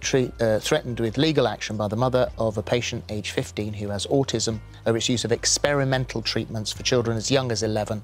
The case argues that hormone blocking treatments are being unlawfully administered to children who cannot properly consent. What I know from clinicians who've less, left the service recently that I've been in touch with, and they were the people who blew the whistle anonymously, is that they said that sometimes children were uh, referred to the clinic for hormones. The informed consent is a form that they go through with the children, but the problem is it's an experimental drug. It's used off license, which means it was licensed for some other condition, precocious puberty, but now they're giving it to children with gender dysphoria. And many parents are really concerned about it because we don't think children of 11 or 12 understand the ramifications of signing up to something so early in their lives. And also there's a sort of political pressure which is taking children much quicker towards a one solution. And I, I want to sort of say that I'm not about saying this should never be the treatment for children. Um, I believe there are a small minority of children who ultimately, for them, this is the answer. Mhm. You know, this is going to help them. But I think children when they come as adolescents, it's a difficult time. There's massive psychological change going on. The, the evidence base for the current treatment just isn't there and it needs to change. You said earlier that an 11 year old may not understand um, the side effects uh, of going through with this treatment. Um, what, what are you suggesting those side effects are? I've spoken with endocrinologists and they say there's in later life risk of cardiac disease, of stroke. There's certainly, if people have surgery, sexual dysfunction. Children are given uh, blockers in Tanner stage 2, which is early puberty, which could be these children of 11 or 12. And then they progress through to the cross-sex hormones, which at the moment, according to the, the GIDS service, they, they are um, nearly 100% doing so. You, you are effectively sterilising the child because they won't be able to produce either sperm or eggs. Bob with us, this is uh, quite an extraordinary number of children, and this teacher thinks that uh, a number of them are autistic, and that somehow might be having an influence on their decision. Is there a connection? Um, about 35% of the people who attend the Tavistock Child Clinic are autistic. Which is sense- the only clinic which deals with uh, yeah, so there's in a disproportionately high number. I think it's maybe about 1% in the general population. I might not be sure of that. But um, just say why I'm concerned, if you don't mind, because the very first person that I saw um, 25 years ago was somebody who'd been living as a woman for nine years and had fully transitioned and then came to realize that it was a big mistake. At which point, of course, I'm sorry, it's breakfast television, but he'd lost his penis and he, it was really a deep tragedy for him. He was very suicidal, very depressed, and he got into psychoanalysis with me and recovered, but he really wished that uh, he'd had psychoanalysis before he'd surgically transitioned. And in a way, that's why I'm so passionate about this. Of the referrals to the uh, the, the Tavistock clinic we were talking about, right? Mm. Two were four years old, 13 were five years old, 30 were six years old. Again, how can this possibly be right? I've had four kids. They don't know what the hell they're bloody choosing for breakfast, let alone what sex they want to be. How can this be right that we're referring kids of this age for potential surgery to change their sex? Well, again, this is all wrong because nobody gets referred for surgery at that age. And the fact is that nearly 100% of the people who get put on puberty blockers go on to full Well, medical not- transition. That's not actually true. Can I just mention the fact that we have something called the World Health Organization? There's a consensus of opinion here. Um, well, About prior, prior to puberty, because What- what's the if you- consensus about? The consensus is the treatment of people who. Yeah, but I'm, all I'm saying is that the Tavistock Clinic says 95% of people who go on puberty blockers go on to full medical transition. A study by De Vries in 200, No, but we can 2011. play statistical tennis. No, it's I've not. got as many Okay, well, let's forget the against statistics. yours. How are we going to prevent unnecessary transitions with regrets? Can we agree? Can we agree that if anybody transitions and ends up regretting it, they will have lost their fertility, they may regret it, their sex life is very likely to be seriously impaired. But you're looking through from the perspective of somebody who wants to keep the, the, the anatomy that would do that. Transgender Well, people in my situation don't want Okay, to India, you- keep uh, it. I we embrace I think- losing it. Can we But I protect think these that- children? That's I what I'm it- saying. Of course we're is the- protecting this them. Everyone's problem. looking after it. It's about children. Of course. And as we all know, children haven't made their minds up about very much at all, and they're exploring their identity. and it's what people are concerned valid. about is that something might be put in place Yes. that they may regret, may change their minds about, may not really know about, may be influenced. You know, this report referred to people being influenced by YouTube stars. Ruby began identifying as male at 13 years old. Now 21, she'd been planning to have surgery to remove her breasts. But in May, she made the decision to come off testosterone and detransition to identify as female, her sex at birth. She doesn't want to be identified, so we've changed her name. I figured it would be better for me to try to deal with my gender dysphoria in a different way rather than um, permanently changing my body. How much support did you feel was out there for you when you came to this conclusion? I didn't feel like there was any support out there other than like a few friends online. Ruby now feels her eating disorder was more of a factor than she first realised in her gender dysphoria. None of the therapists that I spoke to um, brought that up. They didn't think that it was linked. Do you? I think so, yes, because it they're both kind of based in how I feel about my body, so I've seen similarities between the two. Charlie Evans is forming a charity to support people in Ruby's position. After going public with her detransition story, she discovered an online community of 5,000 in a similar position, 30 people alone in her area of Newcastle. I was approached by a young woman um, with a beard, and she hugged me and, and said, I'm, I'm a detransitioned woman as well, I've just stopped taking testosterone. Um, and after that, I felt like I had to do something. I'm hearing from like hundreds of people, um, and I think some of the common characteristics are they tend to be around their mid 20s. Um, they're mostly female and mostly same-sex attracted, most are lesbians, um, and often autistic as well. This idea that it is easy is in complete contrast to the experiences we hear every single day. You know, the, the process is rigorous and the process is there to ensure that any decision made is the right one for that person. We mustn't use these experiences to suggest that everybody is being dealt with in a way that suggests they're being pressured or made into being trans. That's incorrect. You can't make someone be trans. Anna Hutchinson says it's unquestionable that they need support. The burden of treatment for people who are trans identified is very significant. Even for those for whom it works, it might involve foregoing fertility, it will certainly involve, uh, or usually involves, reliance on medication for the whole of your life and often surgery. Now, some people are more than happy to live with that burden of treatment because it works for them. However, there are a group for whom it won't work, and that creates a situation where there's almost a double burden that they have to live with all of those changes that they've undergone, and it still hasn't helped alleviate their distress. What's really, really important is to ensure that this experience isn't used to pressure other people. It shouldn't be used to, to tell those who are trans, those who are gender diverse, that they're wrong or different. It's about creating a system that makes everybody feel validated. Well, Dr. Elizabeth Van Horn is a consultant psychiatrist in gender identity services at the Tavistock and Portman NHS Foundation Trust. What we know from our population is that actually well less than 1% of our population choose to detransition. Isn't, isn't that the point? That we don't know that number is small because we don't know the number. Many that we talked to just said they can't return to the Tavistock for whatever reason that is. And your duty of care, presumably, should be to find out how people are feeling, to find out what has happened afterwards, where there isn't the extensive medical research or evidence to take care of those people.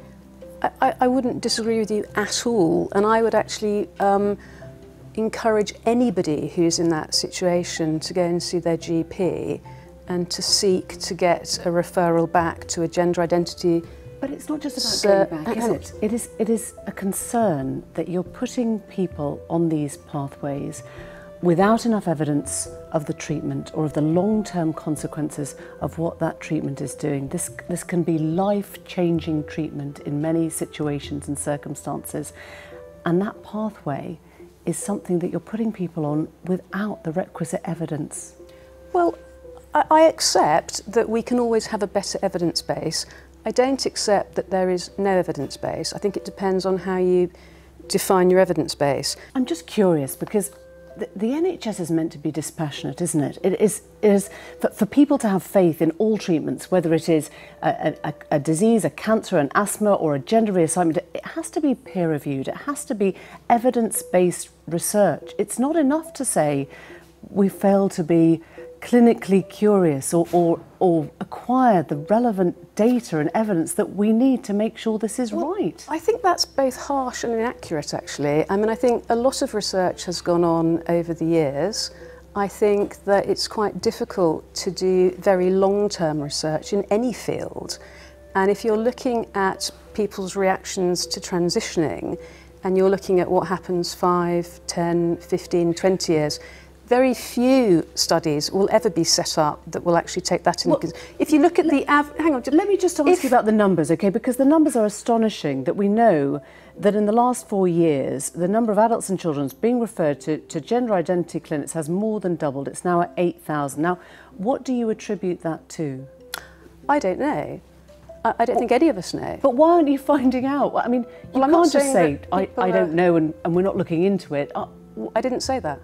I said we don't know. Well, are you looking into and it? And we probably won't know until some time has passed. But we are faced in a day-to-day... Are you looking into it? A really are, simple can question. I just, please. Are you looking we into it? We are faced in a day-to-day -day situation with extremely distressed people coming to us and we are trying to give them the best health care that we can. Of course, and, and when you have people coming through your door, you need to have the research to understand why. So, so are you looking into it? Can you explain, for example, why more than 75% of those refer to you uh, are assigned female at birth? Do you, do you know that? No, not yet. We don't. No. So, so in that gap equally, between not knowing and not doing the research... And equally, Emily, prior to that, we didn't know why the majority of pe people that were being referred to our service were assigned male at birth. If you do not understand the cause, how can you direct people on the right path when this could be a life-changing moment? I mean, is it enough to say, we don't know, and actually there is no body of research I can point to that is investigating this. We're just, we're dealing with whoever comes in the door. It, it, it's, it's not enough. When, when you hear gender dysphoria, can often be part or sometimes be part of a complex web of issues. Isn't it really important how you untangle those issues so that you don't actually say, oh, it, it, we can't start looking at quantitative results, we can't start looking at numbers. These are numbers that that you have to look at because they. I'm not saying. How you? Hang on. I'm not saying for a moment that we're not going to look at quantitative numbers. We're not going to look at. But these numbers are here. They're in front of you, and I, I can't. Well, I can't see you telling me that you're looking at data or you're looking you're looking at research now that is actually going to try and help you put these people on the right path for them. That's what's missing.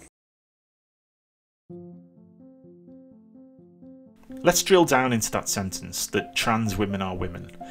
In order to understand what trans rights activists and gender ideology proponents mean by this, we need to think carefully about the language and the words used.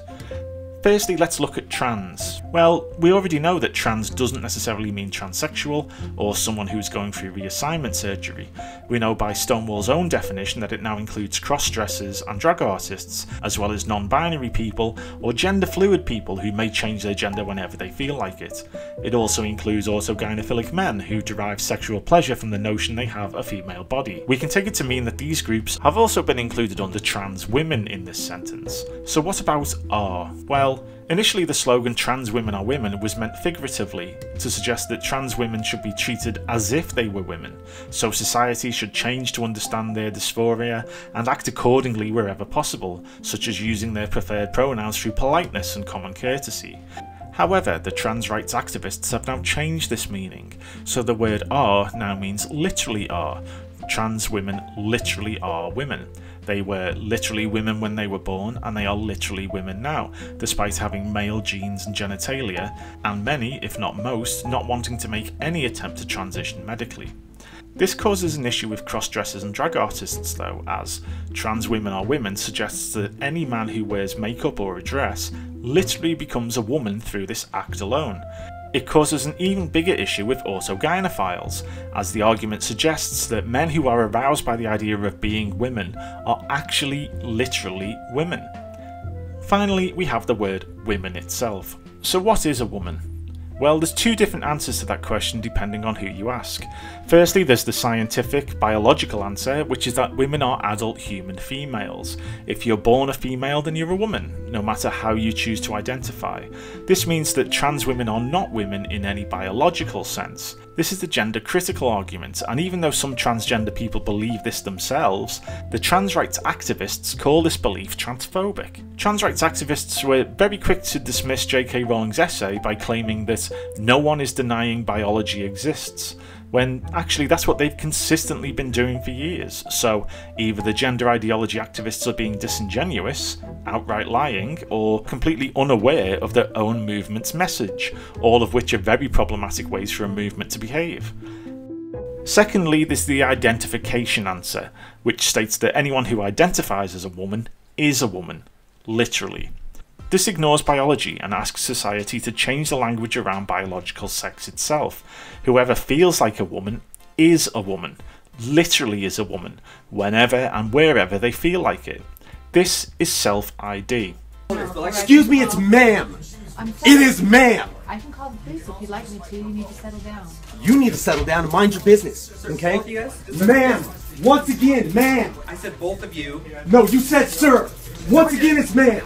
I actually said both of you guys. It was a general. Right beforehand, you fucking said sir. Sir? Okay. Motherfucker, take it outside. If you want to call me sir again, I will show you a fucking sir. I apologize. Motherfucker. I apologize now. because you teach this, you teach trans studies. So, so many gender identities that, in your view, require non traditional pronouns. Basically, it's not correct that there is such a thing as biological sex. And I'm a historian of medicine. I can unpack that for you at great length if you want, but in the interest of time, uh, I won't. So that's a very popular misconception. It's truly a fascinating, complex um, uh, field of study, but that does not mean that there is no such thing as biological sex. If she were a student of yours, what would you call her? She. There's something going on that, that, that people really haven't put their finger on. And I, I've been thinking about it at multiple levels of analysis. And there's one very deep level of analysis that I don't think anyone has addressed. And I would think about it as a, as a cognitive level of analysis. And it has to do with the nature of categorization itself. What, what happened, what's happening very rapidly is that because the binary category has been, um, let's call, let's say, violated, that's one way of thinking about it, you get an explosion of chaotic identities. And so it's gone from, say, two to the proposed, I suppose, three, which, which would have been what the formulators of the legislation I think were hoping for, to, say, 31 in New York and 70 online. It's a really interesting example of the of how, say, binary categories maintain order. And then if you violate them to include those who are excluded, what you produce is an upswelling of, of, of unmanageable chaos. That's the other thing too, is that in the in Bill C-16, there's actually an assault on the concept of reality, because identity is technically unmoored from its biological substrate, and so that means it's unmoored from the objective. And as soon as it's unmoored from the objective, then it's subjective, and in principle can be anything.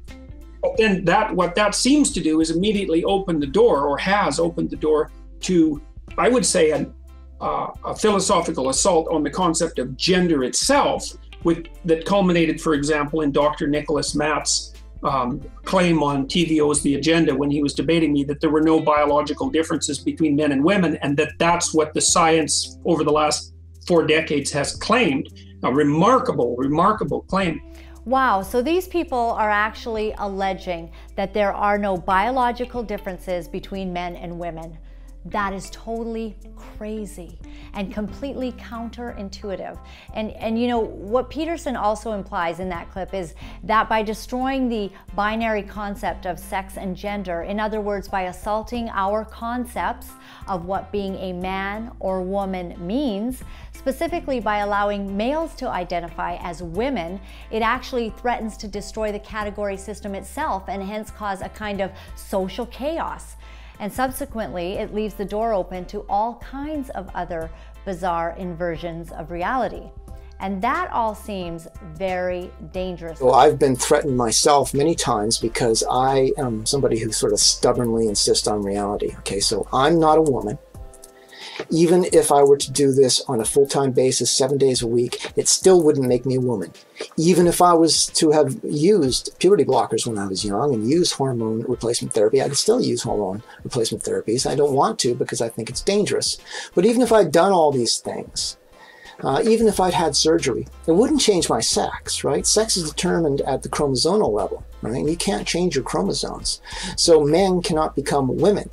So because I'm sort of a, a stickler for reality and believe that I have a right to reality, I'm not going to call somebody who's a man uh, a woman um, when they're not. I am firmly on the side of womanhood now, but I am not a woman, nor will I ever be.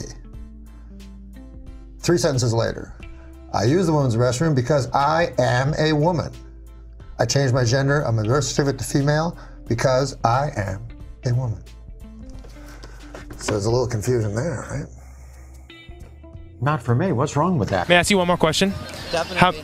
How, how many genders do you believe there are? Really don't know that one. I wish I wish there was a there was a thing, but there's chromosomes, there's cells, there's the fact of you teleporting, and once photon teleportation does happen, it's how much of you actually is you, and how much of whatever is going on isn't you. It, it's a very complicated thing, and it's just a structure that we don't really understand besides X, Y's, and where we come from, and it's, it's very complicated to even say if we're alive. I mean, I'd never even heard of transgender before the age of 40. I discovered all this like amazing science that's, that, that finally made sense. It kind of deconstructs gender, it queers gender. You know, I spent years trying to pass as male. There are some important conflicts of interest here. Trans activists would have you believe that there is absolutely no conflicts of interest here whatsoever. There are no consequences for biological females if we go along with the ideology that they promote, and I disagree. So I think that there are some permissions, protections, resources that if we give them to self-identifying trans women, we will take something away from biological women, and even worse, it will be taking away something that's already in short supply. Um, if same-sex spaces for females, where they undress or where they sleep, are removed or reduced, as is starting to happen across the UK anyway, then this potentially reduces the, the safety of females from sexual violence, which was already in short supply. So you can make that sort of point with respect to female sport, uh, media representation, there's a range of areas you could argue that. If trans women are literally women, not just legally, but in every possible context, then, uh, and even more so if self-identifying trans women are literally women in every possible context, then that does nothing less than force society into a complete re-understanding of what it is to be a woman. And obviously that has an impact on the biological females who were already occupying that category. So it's perfectly okay for us to talk about that because it has an impact on our lives. Okay.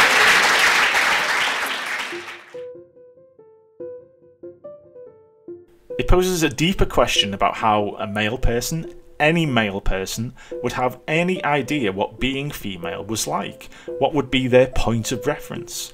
Yes, males can be feminine and women can be masculine, but no person born one sex can truly know what it means to be the other, apart from a vague approximation of what that might feel like. The gender ideology argument falls back on bad science at this point, claiming all manner of spurious facts and data that don't really support their belief in the literality of the trans women are women claim. They often claim sex is a spectrum, which simply isn't true from any biological viewpoint, and that intersex conditions prove this is the case. But to condense a very real, very serious, and historically heartbreaking human genetic disorder into one sentence, intersex people are still born either male or female. The genetic or chromosomal disorders they have are variants within each sex, and if anything, actively disprove the notion of sex being a spectrum rather than a binary. In any case, people with intersex conditions are distinct from the transgender, gay, or lesbian communities. Yes, some people born with intersex conditions are gay or lesbians, but that's because they're humans, not specifically because they're intersex. The trans rights activists have another piece of non scientific rhetoric, which is that people can be born with a female brain in a male body, or vice versa. While there are some scientific differences between male and female brains, mainly in size, there's no evidence of a male brain or a female brain. The psychologist Gina Rippon demonstrates in her book Gender and Our Brains that, looking at over 1400 brain scans, there isn't any difference. In fact, she demonstrates that the differences among women as a group, or among men as a group, are much greater than the differences between men and women. Despite all the robust scientific, biological, philosophical, and existentialist evidence that being born in the wrong body is literally impossible, some trans rights activists have argued that their being trans is genetic. However, there would be a perfect case study that would show the theory of being born with trans genes not to be true, and that would be identical twins. Identical twins have identical genes, so taking the activist logic to its end point, if one twin was genetically trans, then the other one should be genetically trans too, they share the same genes. So, if we could point to one set of identical twins where one twin was transgender and the other one was not, this, you'd think, would be enough to disprove the genetically trans theory. Unfortunately, with such relatively small numbers of identical twins, and the small number of trans identifying people in the world, the chances of this occurring are very slim, and so we probably will never find. Oh no, wait, here's one. Laverne Cox is a trans woman actor, famous for her role as Sophia in Orange is the New Black, one of the most famous transgender people in the world, actually. She was the first transgender person to appear on the cover of Time magazine, so safe to say she's definitely, totally transgender. Her identical twin brother, M. Lamar, however, is not transgender. He's a man. So, case closed on the trans genes theory. Of course, none of this is to say that body or gender dysphoria doesn't exist and isn't real. It does, and it is obviously extremely distressing for any person to feel a mismatch between their gender identity and their sex. This is probably quite common in humans, as gender is a wide and varied spectrum based on psychological, physical, and social factors. But unfortunately for anyone suffering dysphoria, biological sex doesn't change in the same way. It isn't a spectrum like gender. People are either male or female, which is hard coded into the body's genes and DNA. Why do trans rights activists uh, um, talk about uh, intersex uh, people? How do they how do they use intersex people in this debate? To suggest that biological sex is not a reliable categorization system, I think would best describe the way they use it. So people will say there are male pe- there are males and there are females, and you can't change between the two. And the gotcha is always what about intersex? That's what. They think it's a powerful argument because there's a lot of ignorance about what intersex is. So people, um, first of all, back off because if you don't know, you're not going to argue. So you, you mean you mean because it's a because it's a, a, a condition that people uh, are a little bit unclear on, they back off uh, when they hear the word because they don't really feel like they uh, know enough to engage. Is that is that what? You yeah, I think it also it plays on stigmas because it plays into the belief that there are people who are not male or female. It's a use of the word, a misunderstanding of the word, that there must be people who are in between. Like, even, a lot of people think that is a thing. Like, I didn't always realize that the word intersex described me until I started looking into it. And then I realized, like, my medical condition falls under that umbrella. So I had the same, like, misconceptions that maybe there were these people in the middle that we didn't, you know, these really super rare people in the middle that we that we didn't know much about and um, and they they just they're utilizing that ignorance in people i think. To suggest that there's a third sex. Um a spectrum of sex is what they say not a third sex. Right right. When they say a spectrum of sex i know there are several intersex conditions that exist uh, along uh, uh, the binary. Um, but they both they all fall under either male or female is that right? The idea is to destabilize the concepts of biological sex so that they can suggest that gender identity is the way that society should be organized right i think that's the the idea behind it because it's quite complicated because there are also some trans people um, sometimes will believe that they might be intersex because they think that might explain why they feel the way they do. So Yes. there's, there's that. So sometimes it's brought in like that way as well. Yeah. So what? So exactly, how does one know if one's intersex or not? Uh, you are diagnosed with a DSD by a doctor. Right, right, okay. So, but do you think there's a lot of self-diagnosis going on with people deciding that they're intersex? Um, yeah, it's it's actually a really a really big problem. Um, if you look at like the, the UK government did a survey, an LGBTI survey. It was the first time they'd tried to include the I. And in their results, they said that, that it was evident that there were people using the word in a non-medical sense, and so therefore they were not they were not the intersex people they were looking for. Um, and and and that the data then was meaningless because there were obviously people who weren't intersex answering on behalf of intersex people. Because they're medical conditions that involve the genitals, people have like a, a weird fascination.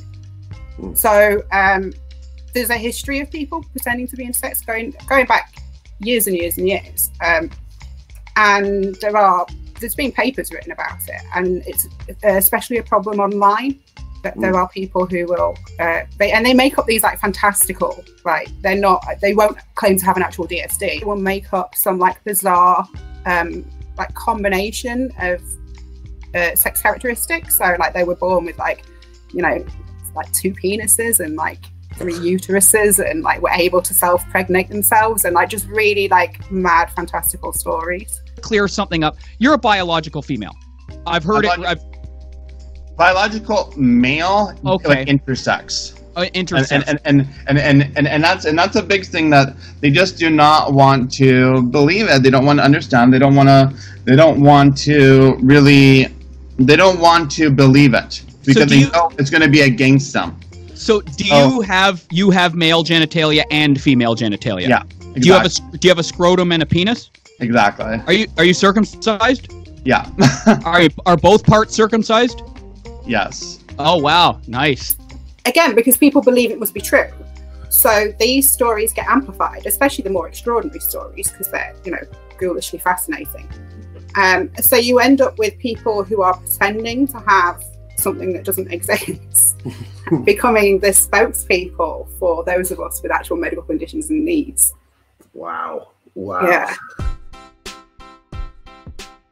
Let's take a minute to look closer at self ID. As we know, the trans activists state that anyone who identifies as a woman is a woman, literally, and are pushing for reforms to the Gender Recognition Act to make this the law. How this impacts on women's rights is the main concern and driving force of the gender critical movement. Women have fought for many years for equality in safe spaces segregated along the lines of sex. This includes female only domestic violence refuges, rape shelters, hospital wards, changing rooms, groups and organisations, and other places where women can be away from men. There are valid reasons for this, as men are much more likely to commit violence than women, committing 98% of all recorded sexual offences, for example. Women are rightfully worried about men entering these safe spaces or taking female only jobs, such as support workers or care assistants dealing with vulnerable women. This is not to suggest in any way that trans women are inherently violent, but it is to state that they are no less violent than other males. Another impact is on women's equality. If men can now claim to be women just by self identification alone, then corporate boards made up entirely of men can claim that half of them now identify as women, and the gender pay gap almost immediately disappears, without any female representation on the board at all. Now, that's obviously an extreme and slightly silly example and unlikely to happen, but there are other examples that show this just as clearly that are actually happening right now. For example, police in the UK record crime statistics as occurring according to the gender to which the perpetrator claims to identify. This means that a man committing a crime can claim to be a woman, and the crime is recorded as being committed by a woman, or vice versa. Seeing as we know that most crime is committed by men, it seems that recording crime rates using these figures will do nothing but skew any official statistics completely. This is borne out by the fact that the number of women and girls being incarcerated are growing at a much faster rate than at any time in recorded history. But how can we tell if that's truly the case or not if we don't know the sex of the offenders?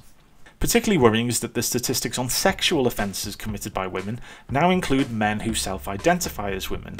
This has meant that the number of women committing child sexual offences has skyrocketed massively.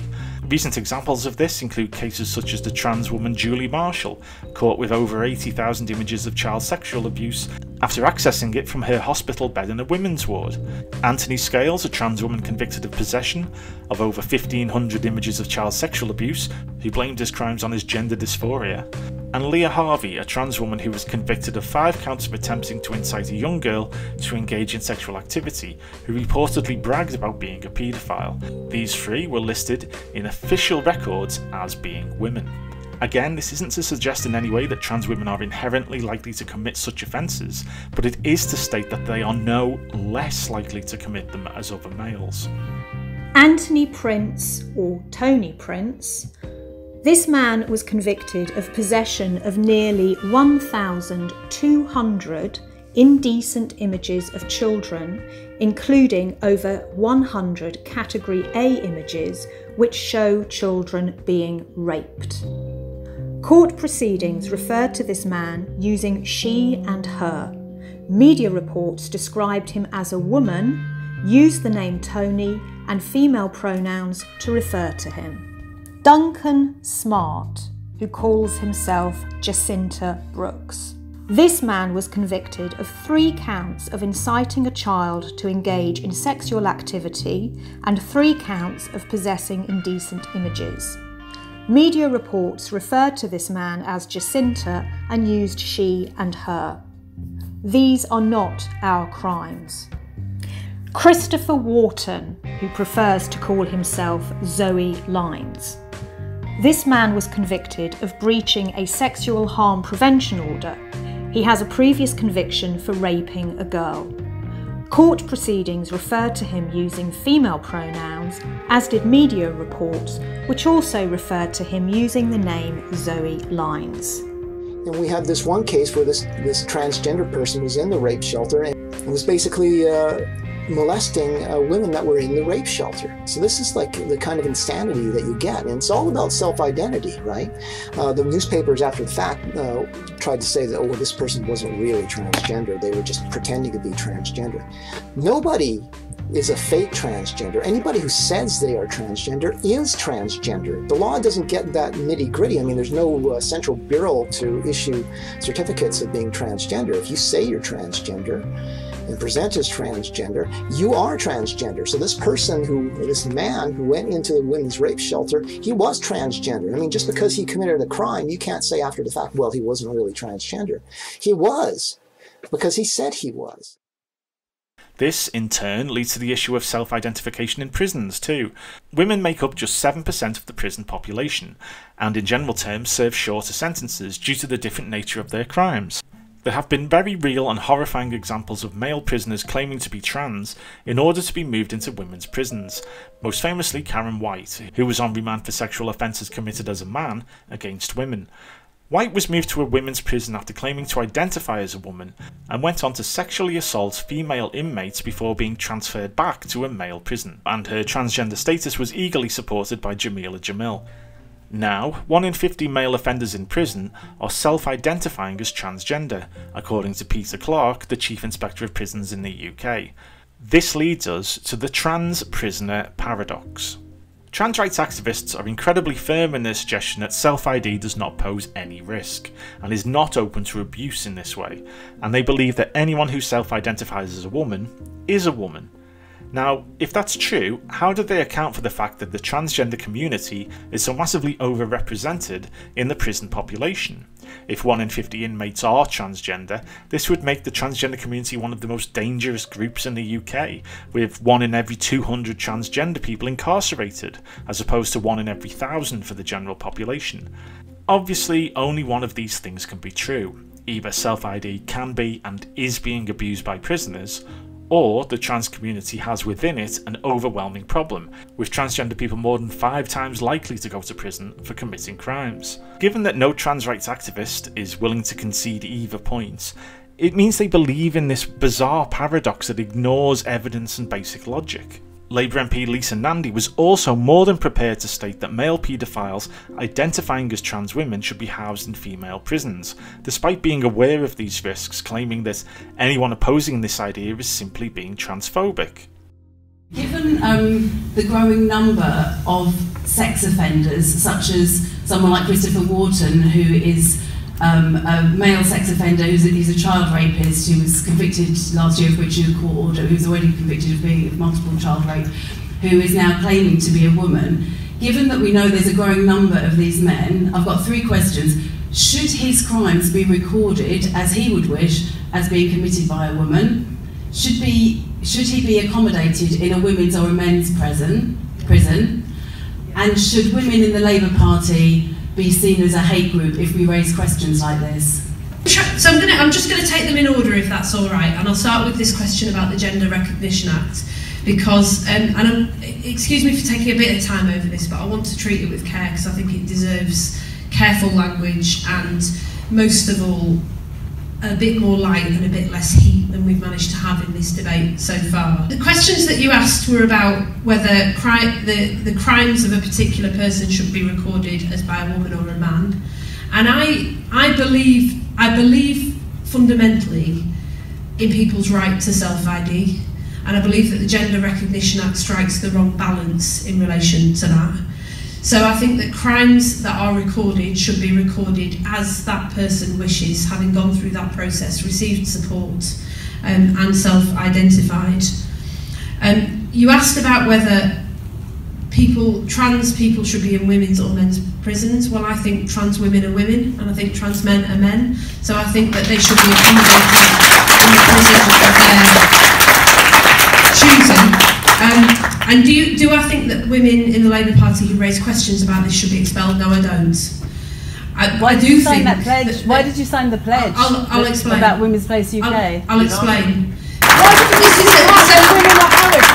two hours of trans activists bashing on the windows of when Women's Place UK had a meeting. Why did none of you speak out about that? If you're if you want to take the heat and have more light in the debate, genuinely did, didn't you didn't know. know, but it was talked about at a conference. But but I'm happy to talk to you about it. I mean, you know, look, this is a this is a I can see a real danger here where people are in a male prison for sexual offences, including rape, and they basically go, hey, I- I'm a woman, which gets them out of a male prison where they might be having a rough time anyway, and gets them into a prison full of women who are their primary target. Yes.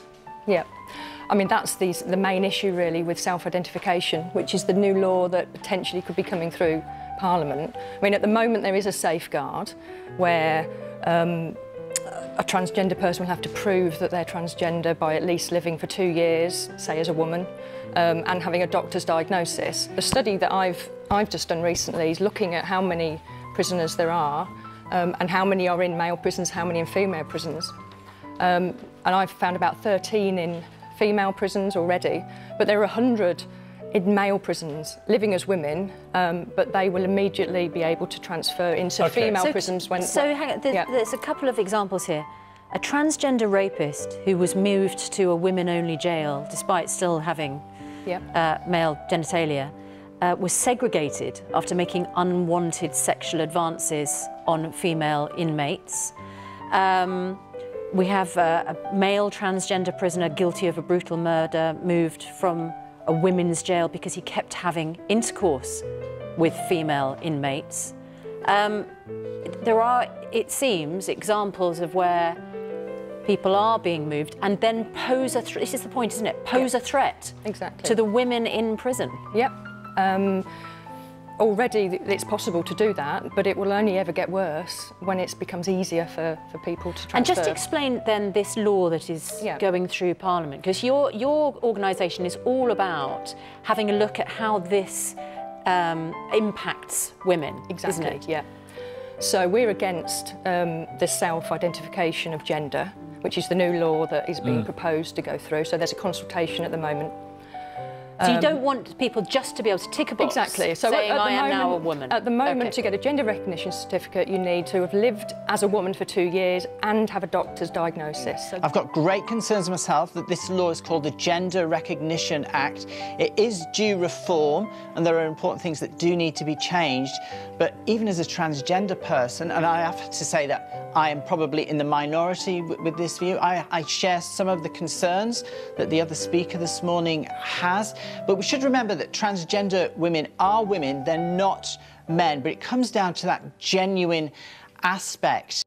Are you happy for anyone born to a male biological body to simply raise their hand without any need for surgery and to compete in the Olympics against women born to female biological bodies? So I'm a huge fan of athletics, and this has been a really big raging debate because, particularly around the issue of Caster Semenya, mm. And so I've been following it really closely. But hang on, I Caster think- Semenya is th- that's a different case. Different isn't case. It? Yeah, yeah, yeah, Because but she's- but but, but, but Caster Semenya is not a trans. That's right. No, no. There's a, No. there's an argument about whether Caster Semenya is a man or a woman. We're talking about people self-identifying Sure. with male biological bodies saying, I am female, I'm now competing against Sure. women born to female biological bodies. That's the debate. But, but the... Should any man or anyone born to a male biological body be able to self-identify as a woman without any surgery uh, or any of that transition process and compete in professional sport against women born to female biological bodies? 'Cause Well- that's the nub of the debate. Yeah, that, that is the nub of the deba- debate. If Floyd Mayweather uh, spent a year taking testosterone treatment and then uh, competed uh, female boxing, are you happy for them to then compete against women born to female biological bodies? Well, the point I was trying to make before you cut me off was that I think there has to be a commission set up in sport to decide what the parameters are of those sporting rules. I mean, these are rules that are set by sporting bodies. It's not fair, is it? By governing bodies. It's just not fair. You don't need a commission to work out it wouldn't be right for Floyd Mayweather to identify as female and then fight women boxers born to female biological bodies. It's not a commission issue, it's a common sense issue, isn't it? No, I don't- You're about to be potentially leader of the Labour Party. And you say that this is something that doesn't really matter and I'm I think it does matter. I think these things I think, I think I it does they- matter. I think it I is- there's a, there's, a, there's a basic women's rights. question of how you treat people properly in this country. that Usain Bolt could uh, self-identify as female and, and compete against women born to female biological Because bodies. you why are can't doing you just say because like I'll tell you why. Yeah, you're I'll normal tell you person, why. Lisa. We'll just go. I'll it's tell madness. you why. Because you are doing what too many people have done in this in this What, debate. asking a straight question? No, you've created more heat and less light. You're setting No, an example no, no. that is just simply No, nonsense. absolute It's a straw man. I've asked. There are two uh, trans athletes who were competing as male athletes, born to male biological bodies, tall, powerful, very fast. They are now identifying as female and they're smashing all Connecticut women's records. I don't think that is fair to women's rights. Right. This is a proper issue about how far do trans rights override women's rights. And I think that your inability to give me a straight I am answer is you your a straight problem, answer. not mine. I am giving you a straight answer, Piers. I'm saying that You're not. Uh, no, I'm saying that you are setting up a straw man in this. What about the weightlifter in New Zealand who is wanting to compete in the Olympics as a female weightlifter who previously competed as a male weightlifter born with a male biological body? Is that right? But that's why I said to you we need to set up a commission to consider these issues. You won't have a commission in time for the Olympics. They're in three months. Yeah, but th- this is why sport needs to get together But and is it sort fair, Lisa? out. Well, it's it's it's it's Why not can't you fair if there are no rules. What you're not doing is giving a straight I am giving a straight You're answer. not. No, you're I am giving to, a straight You're trying answer. to actually do everything but give a straight answer. No, I'm sorry, Because I'm you're not. worried about the reaction your answer will cause you. No, What am I doing but trying to defend women's trying to- rights from a grotesquely unfair situation where people born to male biological bodies who have an obvious superior strength and power are now being able to simply say, I'm female and compete against women born to female bodies. What am I doing that's so wrong? You are attacking some of the most marginalised Who am I people in this attacking? country. I've always supported transgender rights. I'm not attacking anybody. Yes, you are. I'm defending exactly women's. No, I'm defending women's rights. Well, that would be a first, to be honest. it wouldn't actually. And- I and that- defend women's rights a lot on this program. I'm sorry, I think this is just outrageous. By asking And a you're- question about whether they should compete in sport. We need far less heat, far more light, and you've just shown exactly why over the last few minutes. Wow. Is that what you really think? Yes, that is exactly Do you really really think, think. viewers watching this think I've been attacking transgender people? Yeah, I do. Really? Yeah, I do. I bet you not one of them thinks that. You said it was grotesque. I said it's grotesquely unfair to women if transgender athletes born to male biological bodies with superior strength and power are able to compete against them in female competition as, say, weightlifters or boxers. That's why you need some proper rules around Why what can't you just give me a straight answer sport. and Well, agree that's that's what I unfair? just said. No, I Okay. said you need rules. All right. Anyone who's ever questioned any aspect of the gender ideology out loud, on social media or in real life, is immediately called a bigot, a transphobe, or accused of wanting trans people erased from the world. Despite the overblown rhetoric, this is problematic behaviour in several different ways, and known as bigoteering. Firstly, it's manipulation, pure and simple. It's an attempt to silence people by exploiting the social stigmas around transphobia and bigotry, with the accuser attempting to gain the upper hand in terms of virtuous behaviour, forcing those accused to spend time and energy to explain why they're not a bigot or a transphobe. It's also intellectually lazy, as trans rights activists use it to end any debate or discussion they know they cannot answer adequately. Calling someone a bigot or a transphobe and then refusing to continue a conversation isn't the greatest way to win friends and influence people, and shows the insecurity they have in their own position. It means that trans rights activists don't have to understand or deal with the nature of the problem they're causing. But most importantly, it dilutes actual transphobia and bigotry. This is a huge issue as there are genuinely hateful, transphobic people in the world spreading vile abuse towards trans people. By calling everything else bigoted or transphobic, the true victims of hatred are the ones being insulted. It almost gives a free pass to those who are actually transphobic too, who can then hide behind the excuse, well, everything is transphobic these days. There are perhaps a few reasons why gender ideology has grown so quickly as a movement and why trans rights activists have so much support. One is what we call the sneak. The fact that trans rights is a term in itself and that supporters of the ideology call themselves activists might suggest that the ideology is a good thing. After all, activists and people fighting for their rights have historically been seen as well meaning and virtuous, but this isn't really the case here. The claim that gender ideology is a civil rights issue has painted the movement to be something it is not. Gender ideology and queer theory have piggybacked on a lot of the LGBT rights movement, as we've discussed. Stonewall, for example, has moved from an LGBT rights organisation to one that is more distinctly trans, as can be seen clearly by the comparison of the words lesbians and trans in their literature over time. The sneak is the phrasing and naming of the movement as a rights issue, when it appears to be much more complex and political. The same can be said to some extent of the Black Lives Matter movement. Not the sentiment itself, obviously, which is unarguable, as of course Black Lives do matter greatly, but the organisation behind the movement, which among other things has been accused of anti Semitism for their pro Palestinian and anti Israeli stance, a stance which seems more suited to the Lebanese civil war than a movement about police brutality against black people in America and other countries. But because anyone who says, I don't agree with Black Lives Matter, meaning the organisation rather than the sentiment, will be accused of racism, the organisation looks to the outside world as a just, virtuous, and well meaning civil rights group, rather than an authoritarian left political group. If you don't think this is the case, look at the treatment of black people who disagree with the Black Lives Matter movement's stance. They face being criticised and abused by the most vocal BLM activists, many of whom are not black. No, you're white. You know, you're not black on the inside. I'm more black than you on the inside at this particular point. Yeah. Oh, they're black. There were people during the times of slavery who enabled the slavers.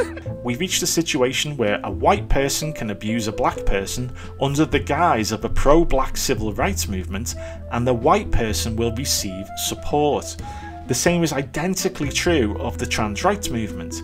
Anyone expressing disagreement with the trans rights activists, no matter how abusive they may be, will be called transphobic, accused of wanting trans people dead, face having their personal details revealed, lose their jobs, or be violently attacked in real life. Again, all under the guise of a well meaning civil rights movement. This means that gender critical trans people, such as Debbie Hayton, Miranda Yardley, Buck Angel, and others, have all been targeted. This has meant that trans people have been abused by non trans men under the banner of pro trans civil rights, and all of this is supported and cheered on by celebrities, politicians, political activists, and others. We're really through the looking glass in terms of how a society should behave. Normally you engage with arguments. You don't talk about character or motivations. You don't try and say that somebody's evil or, you know, all that. Plus, there have been public protests about me on campus, at the student union. There's been stuff in the Argus about me, so it's all coming down. And the aim is to make me feel ashamed, as far as I can see. And, that, and, and also to socially isolate me from potential supporters so that they don't get dragged into this media frenzy, whatever. And the ultimate aim is to get me to stop talking. Um, so generalizing from my own case, social shaming seems to me the way that operates in this debate. You're told you're evil, you're told you're confused, you don't know enough, you're not kind, um, you're causing harm.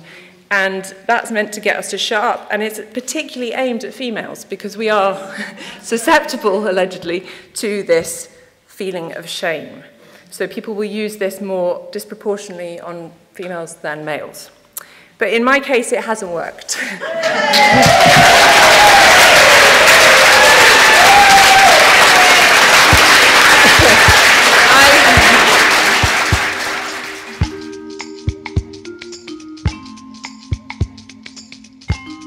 So, how can we sort this out?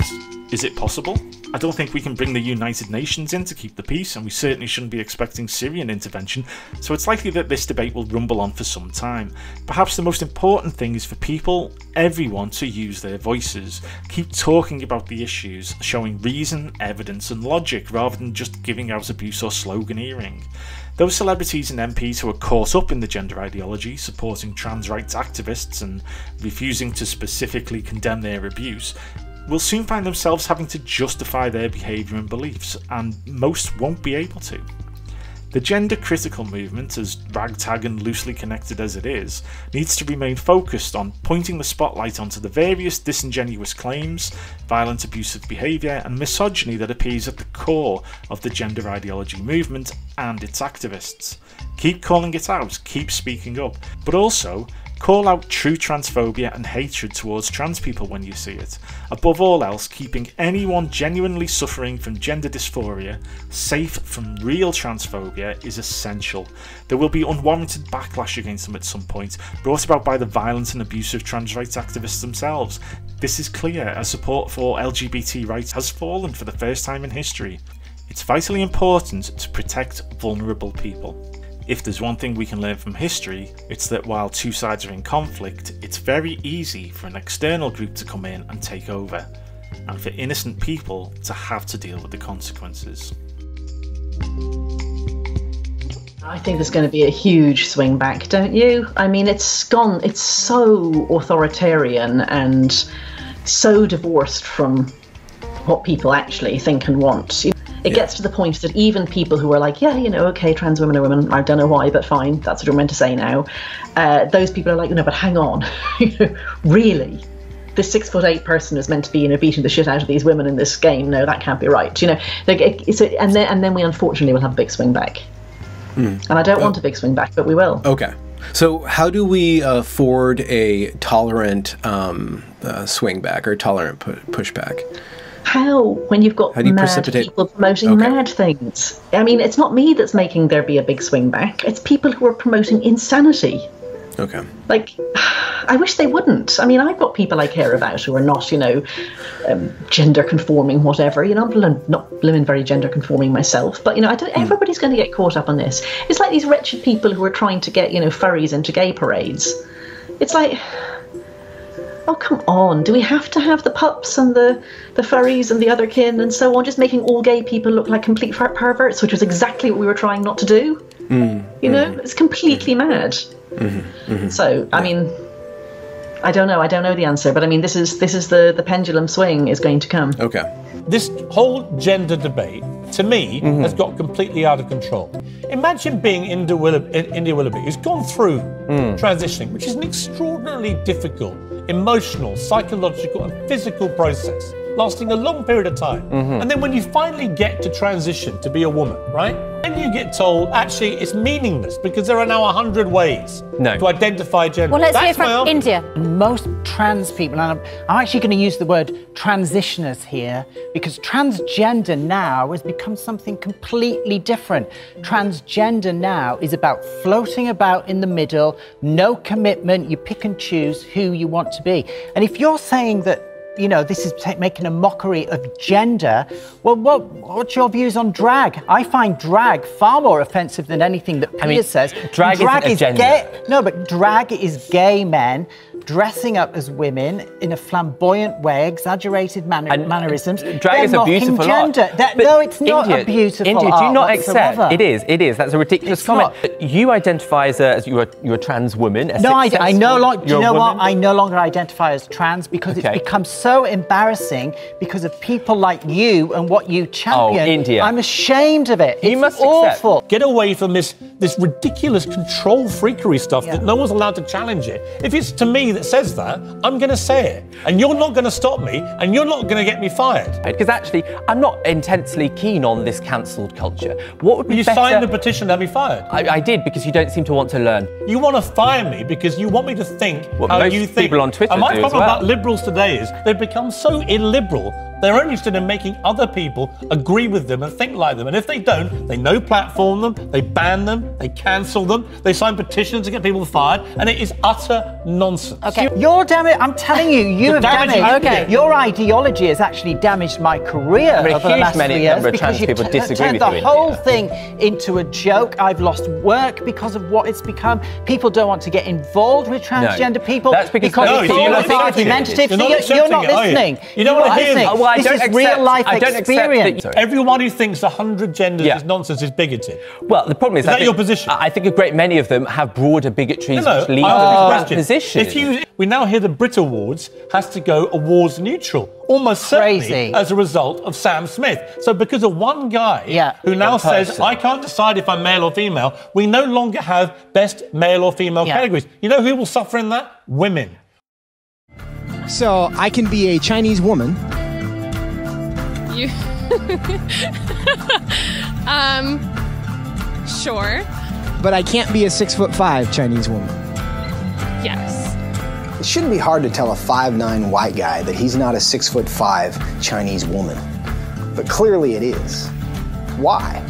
What does that say about our culture? And what does that say about our ability to answer the questions that actually are difficult? Wow. I mean, that is absolutely crazy. So, just using political correctness, we've resulted in kids who can't think critically and reason critically, or perhaps they're afraid to do so because of how that might make them look. Um, they'll be, you know, thought of as bigots or whatever, so they just go along with anything. And when you start doing that with kids in kindergarten and doing it all the way through their school, what you're going to end up with are some very uh, severely controlled youths that are afraid to think critically and will just do whatever they're told to do uh, or agree with whatever they're told to agree with. So this is very insidious from a free speech perspective. This this has been a particularly weird experience to live through. I think the whole gender thing because it is so weird. Like it's just so weird. It's so religious, so culty, so unattached to anything real, you know. Hmm. And it is so insane. I think it's the thing that's making the pendulum swing a long way and then swing back. Mm-hmm. I don't know. I don't. Maybe, maybe America is crazy, Benjamin. Maybe that's the problem. Well, yeah, but you guys are, you know, kind of following along. Yeah, we're following. Yeah, but I don't know that we would have thought of it ourselves. I don't think we're a, fact- a factory for such a level of madness. You know. What do you think of J.K. Rowling's position on trans women? I don't agree with it. Why? Because I think trans women are women and trans men are men. Do you think that um, trans women who haven't undergone surgery should be allowed um, in women's toilets, for example? Yes. You do? Yeah, I, I believe. Listen, You're uh, happy the, for the, trans the, women, the, the Liberal pre-op, pre-op trans women in women's prisons as well? Yeah, and that's why I'm afraid I disagree with J.K. Rowling. What, about the women who um, do not think that this is right, that they feel threatened, their, their space feels threatened by the presence of a man in a woman's loo with a penis? I don't agree with them. I was born.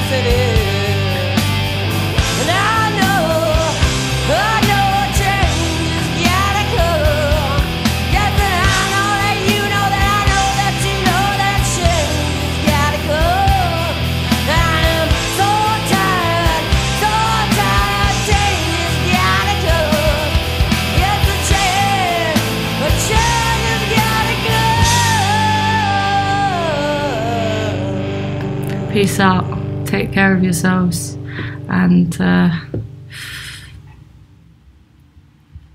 keep fighting.